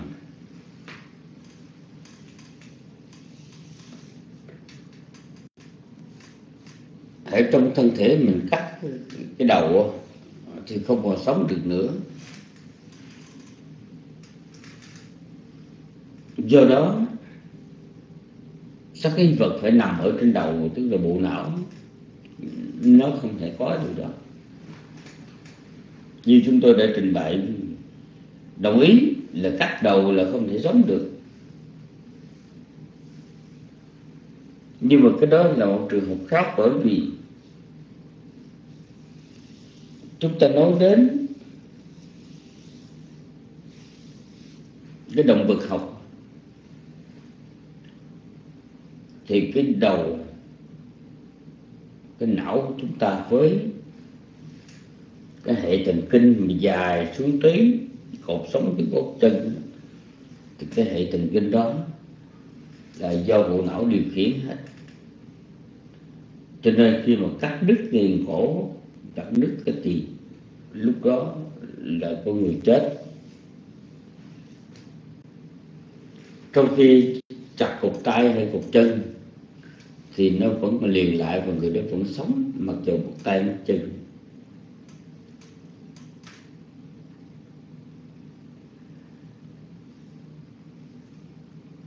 Chúng ta không thể dựa vào cái chỗ, cái đầu quan trọng như vậy nữa. chúng ta cho rằng là cái vật nó nằm ở phần đầu. Bởi vì tại sao vậy? Bởi vì cũng có người cho rằng sắc ý vật tức là số máu trong trái tim.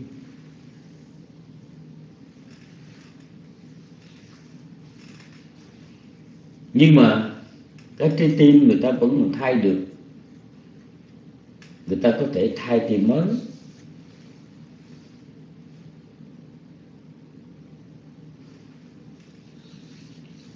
Thì như vậy, trái tim nó cũng chưa hẳn là hada cho quá thú một sắc nào ở trong cái trong thân này, thì sắc đó làm hada vô thú nhưng mà khi cắt ra nhiều phần nhiều phần nhiều phần thì trong trường hợp này sẽ chỗ nào cũng là có sắc ý vật, cũng có tâm đương hết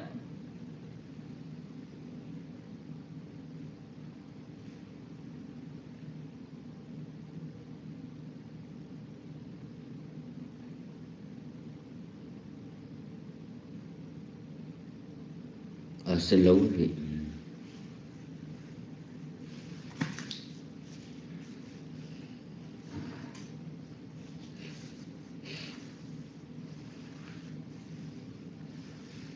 Hôm nay chúng tôi có vấn đề chúng tôi bị cảm nên hồi nãy chúng tôi uống vị thuốc đề cơn dần mà nó có cái chất gọi là chống dị ứng bây giờ anh thấm thuốc.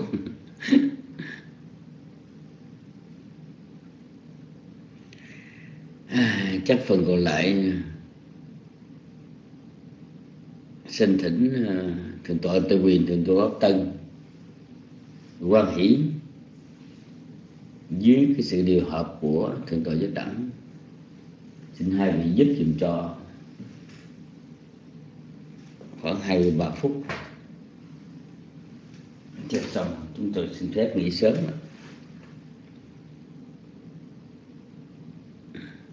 Xin thỉnh thượng tọa giáo đẳng trở lại.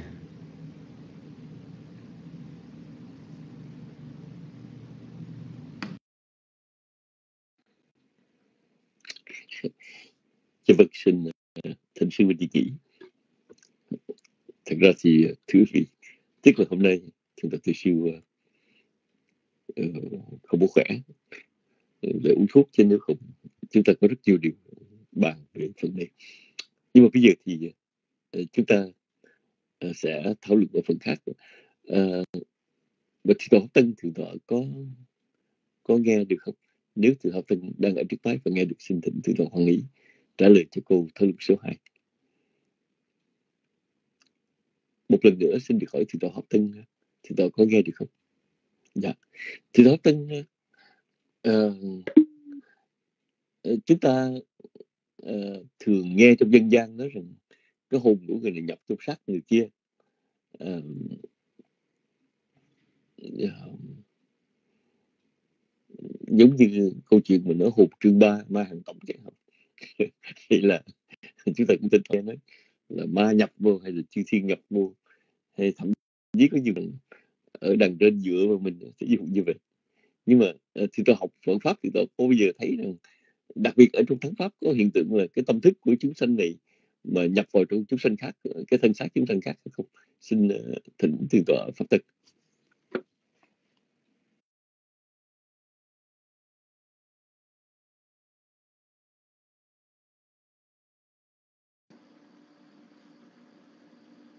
Dạ, Nam mô bút Tha Giá, Nam mô Tham Ma Giá, Nam mô à, Sanh Khai Giá, con xin thành kính đảnh lễ à, ơn Đức Tam Bảo, Đức Phật, Giáo Pháp và Chư Tăng. Kính đảnh lễ à, từ tọa tề siêu, từ tọa giác đẳng, tọa tề quyền, tọa minh hạnh, Đức Tề Tri, Sư Thông cùng Chư Tăng. Kính chào quý cô tu nữ và thân chào quý thiện nam tín nữ. Mà theo con thì uh, con nghĩ rằng uh, trong dân gian ấy, thì uh, cái việc này thì con cũng cũng cũng, cũng có gặp mấy lần. Nhưng mà cũng ờ, người ta nói người ta bị nhập phi nhân nhập. Thì nói đến phi nhân ma quỷ gì đó. Rồi ờ, có người thì ờ, thì nói là ông này bà kia ở trên trời. Chẳng hạn nói như ông thánh này hoặc ông bà chúa kia ở trên trời dựa vô phán quyết à, nói những lời như vậy. Thì những điều đó thì con, theo theo con thì con nghĩ rằng à, con không có tin lắm. Tại vì không phải là cái đối tượng nào nó cũng lại là có dựa vô đâu. Dạ. Yeah. thì nếu mà mình học Phật pháp thì rõ ràng là à, sắc thân của người nào thì là tâm thức của người đó. Ờ, theo Phật pháp thì ờ, mình chết thì ờ, nói trong giáo lý chánh thống của Phật giáo Nguyên Thủy, đặc biệt là A Tỳ Đàm, thì sau khi chúng ta mất, chúng ta tử thì ngay tiếp tục, lúc đó là chúng ta tục sinh liền. Tùy theo nghiệp mà chúng ta tục sinh, tái sinh ở một cảnh giới khác.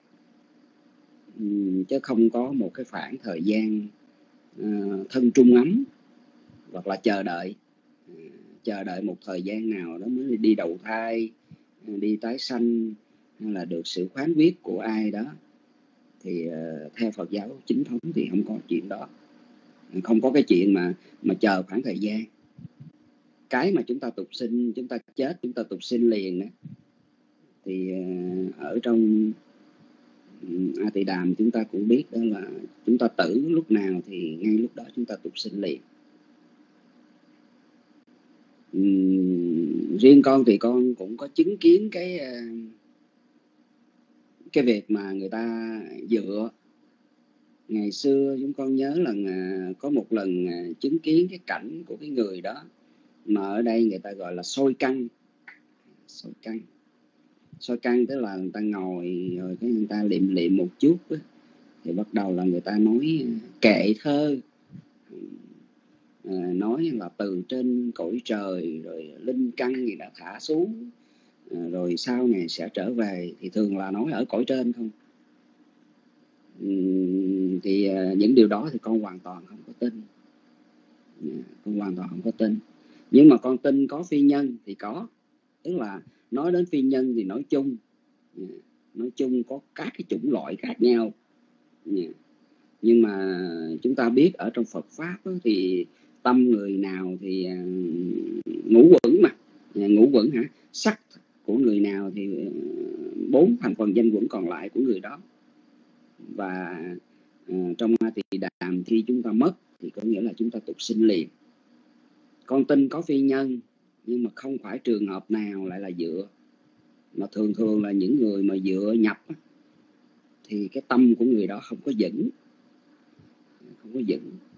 Tức là tâm của người đó nó à, nó không có định tĩnh, hoặc là họ mơ màng mơ màng. Giống như là cái nhà mà mình sẵn sàng mở cửa để cho người ta dựa vô vậy đó. Thì thường thường là như vậy. Những người có cái tâm lý như vậy thì à, sẽ bị dựa. Nhưng mà không phải là ai cũng dựa là phi nhân dựa không phải trường hợp nào cũng là có phi nhân dựa. Bởi vì khi họ giả cũng có. À, mà thường thường là cứ nói ông này bà kia hay hoặc là nói dông này dông nhỏ nọ thì con nghĩ rằng con tin có phi nhân nhưng mà không phải trường hợp nào cũng có dựa vô.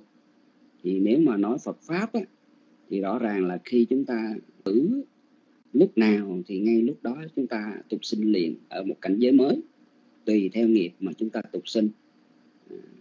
À, theo kinh tăng chi thì để mà chúng ta tái sinh cảnh giới lành thì nó khó nó ít nó hiếm hơn ừ, so với lại à, chúng ta tái sinh ở trong cảnh giới khổ. Thì cảnh giới khổ gồm có địa ngục ngạ quỷ súc sinh và atula. Thì nói chung là những loài phi nhân rất là nhiều loại ở trong đó. Dạ. yeah thì à, theo con con nghĩ rằng à, nói chúng sanh là một trường, mọi trường hợp trường hợp nào cũng dựa thì điều đó không có như vậy. Tại vì nhiều khi họ giả cũng có.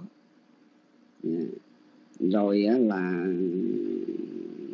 hoàn toàn là những cái điều đó, nó là những cái hiện tượng mà cái người bản thân, đối tượng đó thì họ mơ màng, họ sống, họ tâm họ không định tĩnh là giống như họ quan niệm mà họ như cái nhà mà mở cửa sẵn, là sẵn sàng là ai dựa vô thì dựa, ai vô thì vô. Như vậy thì phần lớn là những người đó là như vậy. Thì ý kiến của con con xin có cái ý ừ, trả lời à, qua cái câu hỏi của thượng tọa. Thì à, con nghĩ rằng là ừ, ừ, theo Phật giáo chính thống thì à, mình tự lúc nào thì mình tu lúc đó. Phật, giáo ờ, Đại thừa hay là một số bộ khoái của Phật giáo Đại thừa thì nói rằng có thân trung ấm. Đó là quan niệm của Phật giáo ờ, Đại thừa là như vậy. Còn cái hình ảnh mà mình thấy rằng à, những cái trường hợp mà thấy người ta nói là dựa đó thì ờ, phần lớn là người ta nói là người ta ở cõi trên không. Không phải trường hợp nào cũng là là có thật là có dựa. Nhưng mà con nghĩ rằng là sự thật ra là phi nhân nó cũng có thể suy kiến mình một phần nào chứ không phải ai cũng nó cũng suy kiến được. Và cái đối tượng mà bị bị suy kiến như vậy đó để người ta mượn xác à, mượn hồn mượn xác để mà nói chuyện đó, chuyển tải cái gì đó thì phần lớn là cái người đó tâm không có vững. Giống như là trong một cái tâm thế hết sức là sẵn sàng mở cửa để cho người ta dựa vô thì thường lớn là những người bị nhập bị dựa là như vậy con ờ, có cái ý để chia sẻ cái suy nghĩ ừ, cái trường hợp mà con đã gặp như vậy.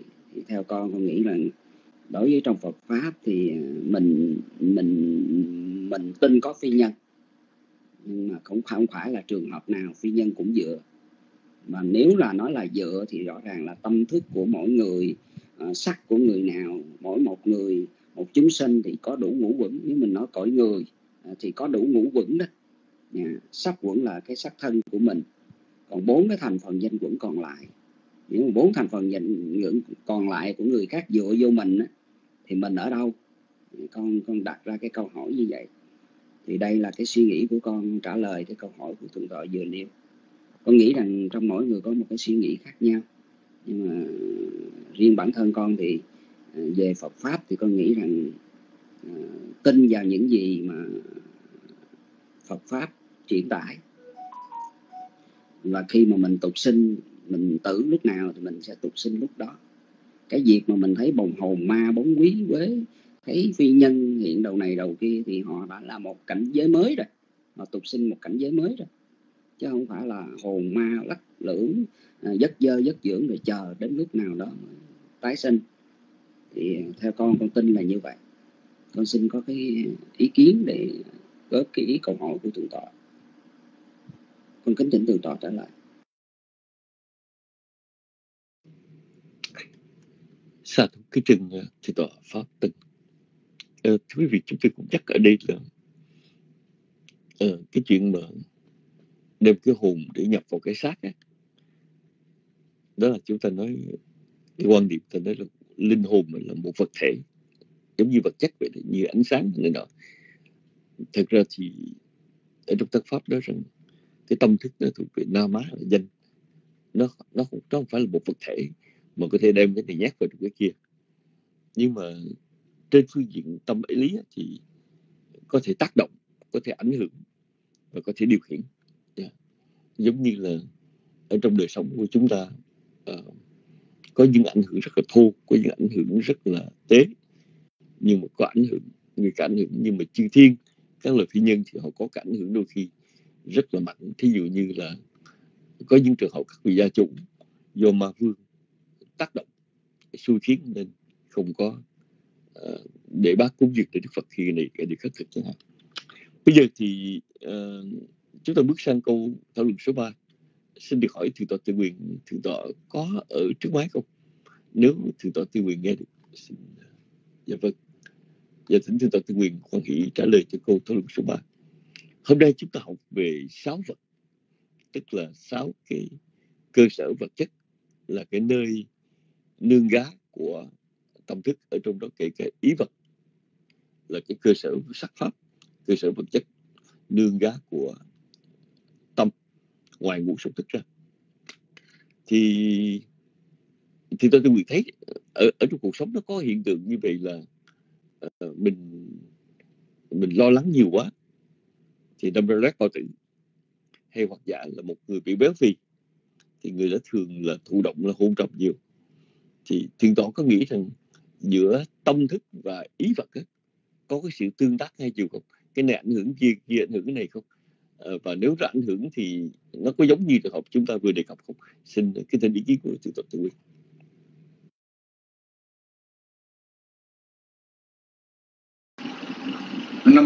Tha giá nam mô tham ma giá nam mô sanh khai với giờ thưa để chúng được nghe rõ không ạ? À? dạ cảm ơn quý vị. Chúng con kính lễ đến đức phật đến giáo pháp và chúng tăng kính lễ đến uh, thượng tọa giác đẳng thượng tọa pháp tăng tọa minh thành uh, để đức trụ trì sư nguyên thông cùng chư tăng. Đến chào đến quý tu người cùng chư phật tử. Để có thể nói rằng uh,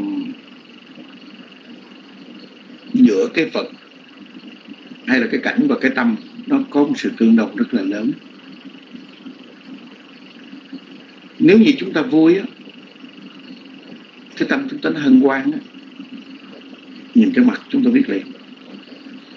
Nói một cách gần kề dễ hiểu hơn tâm chúng ta vui. Chúng ta được cái gì đó chúng ta vui á thì nhìn cái gương mặt chúng ta cái sắc diện của chúng ta nó rất là khác. Mà khi chúng ta âu sầu ủ dột buồn rầu á, thì cái sắc pháp của chúng ta nó cũng cũng rất là khác. Thì phải nói giữa tâm thức và cái thể xác đúng như vậy đó. Thì nó có một sự tương quan rất là rất là mạnh. Bởi vì ở đây chúng ta nhớ tâm á, nó sanh sắc tâm. Nghiệp nó sanh sắc nghiệp. Và dựa trên cái sắc pháp này tức là chúng ta thấy do tâm mà nó nó thể hiện hết. Chúng ta vui chúng ta buồn chúng ta lo lắng thì từ những cái tâm lo lắng đó đó, nó làm cho ngay cả cái hệ thống tuần hoàn của chúng ta tim can tỳ phế thận gì, nó đảo lộn hết, rối loạn hết. Bởi vì vậy cho nên cái, giữa cái cái sắc pháp của một vị tu thiền chúng ta thấy nó rất là khác. Một người mà tu thiền, nhất là tu thiền chỉ hay tu thiền quán, cái tâm họ nó được an tĩnh nó được hân hoan. Cái thân cái thân an, tâm an tâm an thì thân an. Có thể thân an nhưng tâm chưa an. Nhưng điều phải mà thân an thì, tâm an thì thân nó sẽ được an. Có thể nói là như vậy. Ở đây chúng ta nói, nó nó, chúng ta nói nó không bị bệnh hoạn chúng ta nói là tứ đại bất hòa thì do tứ đại bất hòa thì thì cái này thì à, do cái cái cái cái cái tâm của chúng ta an nhưng có thể cái sắc nó không an là do tứ đại do chúng ta bệnh. Do chúng ta yếu cái sức chút xíu thì cái điều đó nó à, chúng ta cái đó là cái cái cái cái cái, cái, cái ngoại lệ thôi. Chứ còn nếu như thường thường á thì chúng ta thấy nhiều khi cái ngoại cảnh nó không tác động được. Làm cho chúng ta phát sinh phiền não là đúng. Nhưng có thể nói rằng là cái nội cảnh làm cho tâm của chúng ta hết sức là vững vàng hết sức là khỏe khoắn. Một cái tâm mà nó nó nó nó ổn định một cái tâm mà nó nó tốt đẹp á, thì kính thưa quý vị các cái hệ thống tuần hoàn như là bao tử dạ dày hay hoặc là tim can tỳ phế thận gì đó nó sẽ rất là ổn định. Và nếu như chúng ta có một cái có một cái tâm mình nó có có cái năng động cái tâm này nó cái tâm chúng ta có thể nói cái tâm nó nó, nó, nó tác động nó vô trợ nhiều đó hay nó nó nó chủ quan mạnh mẽ đó thì thì chúng ta chúng ta linh hoạt hay chúng ta năng động thì chúng ta tránh đi một cái sự béo phì thì tránh đi một cái cái cái cái cái một cái một cái cái cái cái sự nặng nề. Đó chính là nó có cái sự phối hợp của cái gì? Của cái sắc đặc biệt. Để tâm của chúng ta nó nhu nhuyến tâm của chúng ta nó nhẹ nhàng thì cái này sắc đặc biệt nó cũng sẽ phối hợp. Cho nên vì vậy chúng ta nhớ là khinh nhu khích nghiệp à, nó nó phối hợp.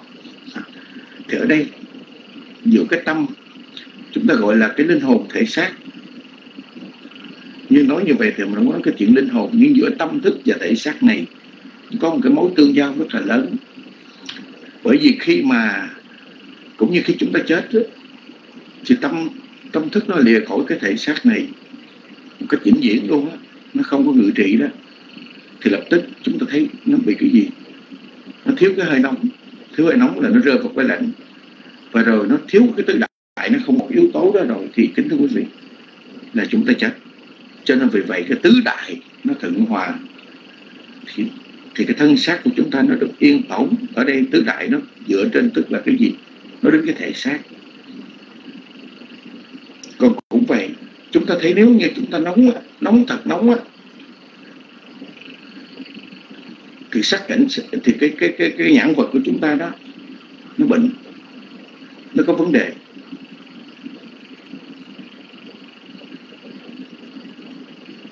Cái căn nhãn căn của chúng ta có vấn đề thì chúng ta rất là khó.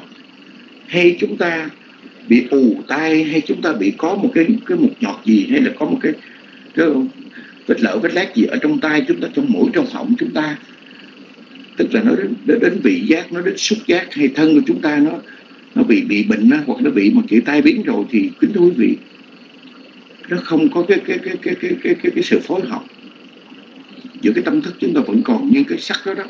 Khi chúng ta bệnh đó, nó không còn cái sự phối hợp tứ đại nó mạnh mẽ nữa. Nó rất là yếu. Thì ở đây chính là do cái gì? Do tâm của chúng ta cái tâm của chúng ta nó trì trệ thì nó sản sinh ra nhiều cái yếu tố nó bất lợi cho mình. Chúng ta nhớ như vậy.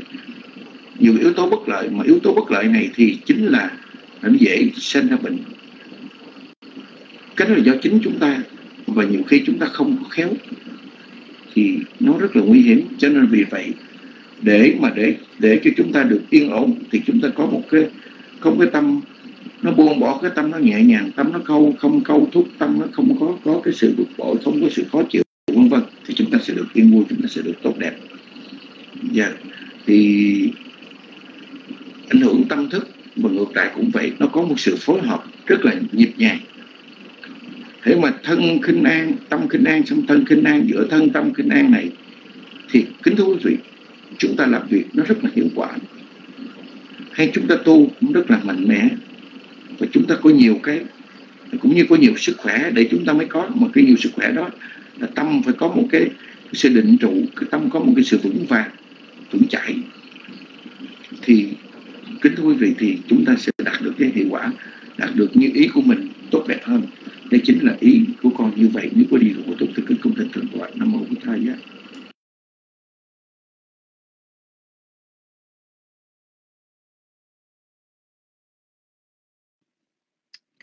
sa thú kính chừng à, thượng tọa tây quyền. À, thưa quý vị đề tài nghị hôm nay thật ra thì có rất nhiều điểm để thảo luận. Nhưng mà à, chúng ta hết giờ rồi. Do đó chúng tôi dành à, vài giây phút sau cùng để à, à, nói thêm một số điểm. Đó là à, khi mà chúng ta càng uh, học thắng pháp.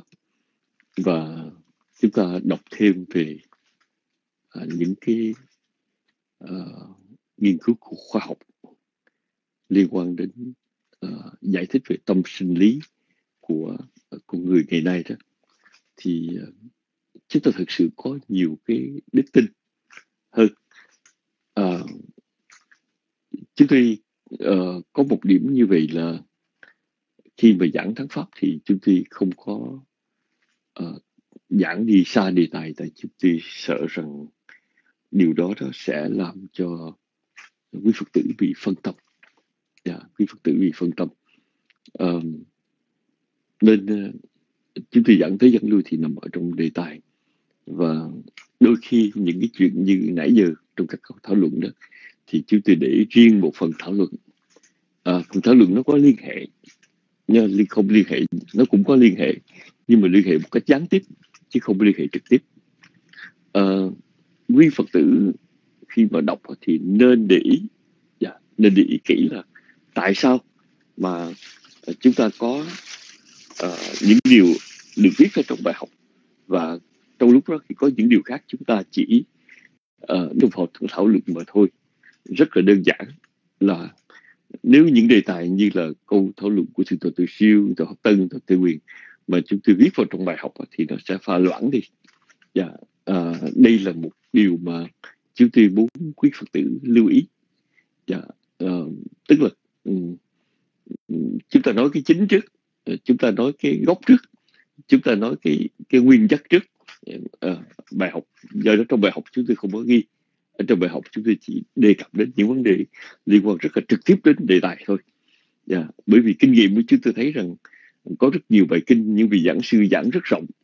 Nhưng mà do giảng các rất rộng đó thì người ta chỉ để ý đến những cái ngoại vi những cái hoa lá cành mà người ta không có chú ý đến cái, cái tâm điểm của vấn đề. Nhưng dù sao đi nữa thì có cái này cái kia thì chúng ta cũng hiểu thêm. Yeah, dạ, chúng ta cũng hiểu thêm và hiểu điều đó nó trở nên rất là lợi lạc à, nếu mà mình chịu khó suy tư. À, và cũng một điểm khác chúng tôi nhắc quý phật tử đó là học thắng pháp. À, đôi khi chúng ta không nhất thiết là mình đòi hỏi là học một bài rồi mình hiểu hết. Hay hoặc giả là à, chúng ta cố gắng để trình bày hết trong một bài không có chuyện đó đâu. Và à, đề tài của thắng pháp ví dụ đề tài về sáu vật mà chúng ta nói nói cho cung cận thì thật ra nói rất nhiều ngày chứ phải nói một ngày được ở trong buổi học. Thành ra chúng ta chỉ gom thu ở trong một số phương diện nào vừa phải cho một bài học. À, nên à, quý phật tử phải lưu ý là đừng nghĩ rằng một bài viết như vậy là chúng ta hiểu hết vấn đề. À, không có trong trường hợp nào trong thắng pháp mà một bài học mà nói đủ hết tất cả mọi vấn đề. À, do vậy à, à, à chúng ta nên đặc biệt là à, cẩn thận về điểm này xin được kết thúc chương trình hoặc hôm nay của trung Phật pháp Bút Tâm kính kiên chư tôn đức đã vào trung để thuyết giảng. Đảnh lễ quý ngài. Thân chào tạm biệt quý Phật tử. Hẹn gặp lại trong chương trình ngày mai. Nam mô bổn thầy dạ.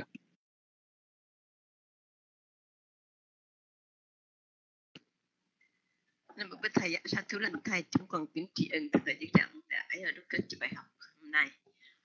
Ừ, xin, thay mặt đại chúng trong room, chúng ơn kính tri ân cho Tôn Đức đã mở lòng bi mẫn, giảng dạy những giáo nghĩa vi diệu của Đức Phật để toàn thể chúng con được lắng nghe, ghi nhớ và hành trình trong tôn chỉ, không làm các ác nghiệp, quân tu các hạnh lành, thanh tịnh quá tâm ý, như lời chư Phật dạy.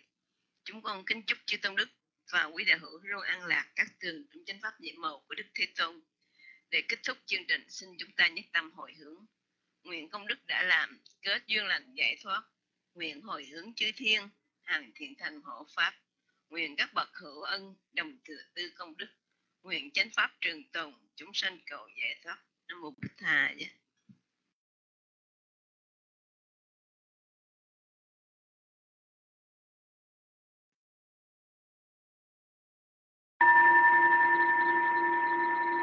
yang kinci kusala kamang kapa pangiriyam mamangkaye navaja manasa didase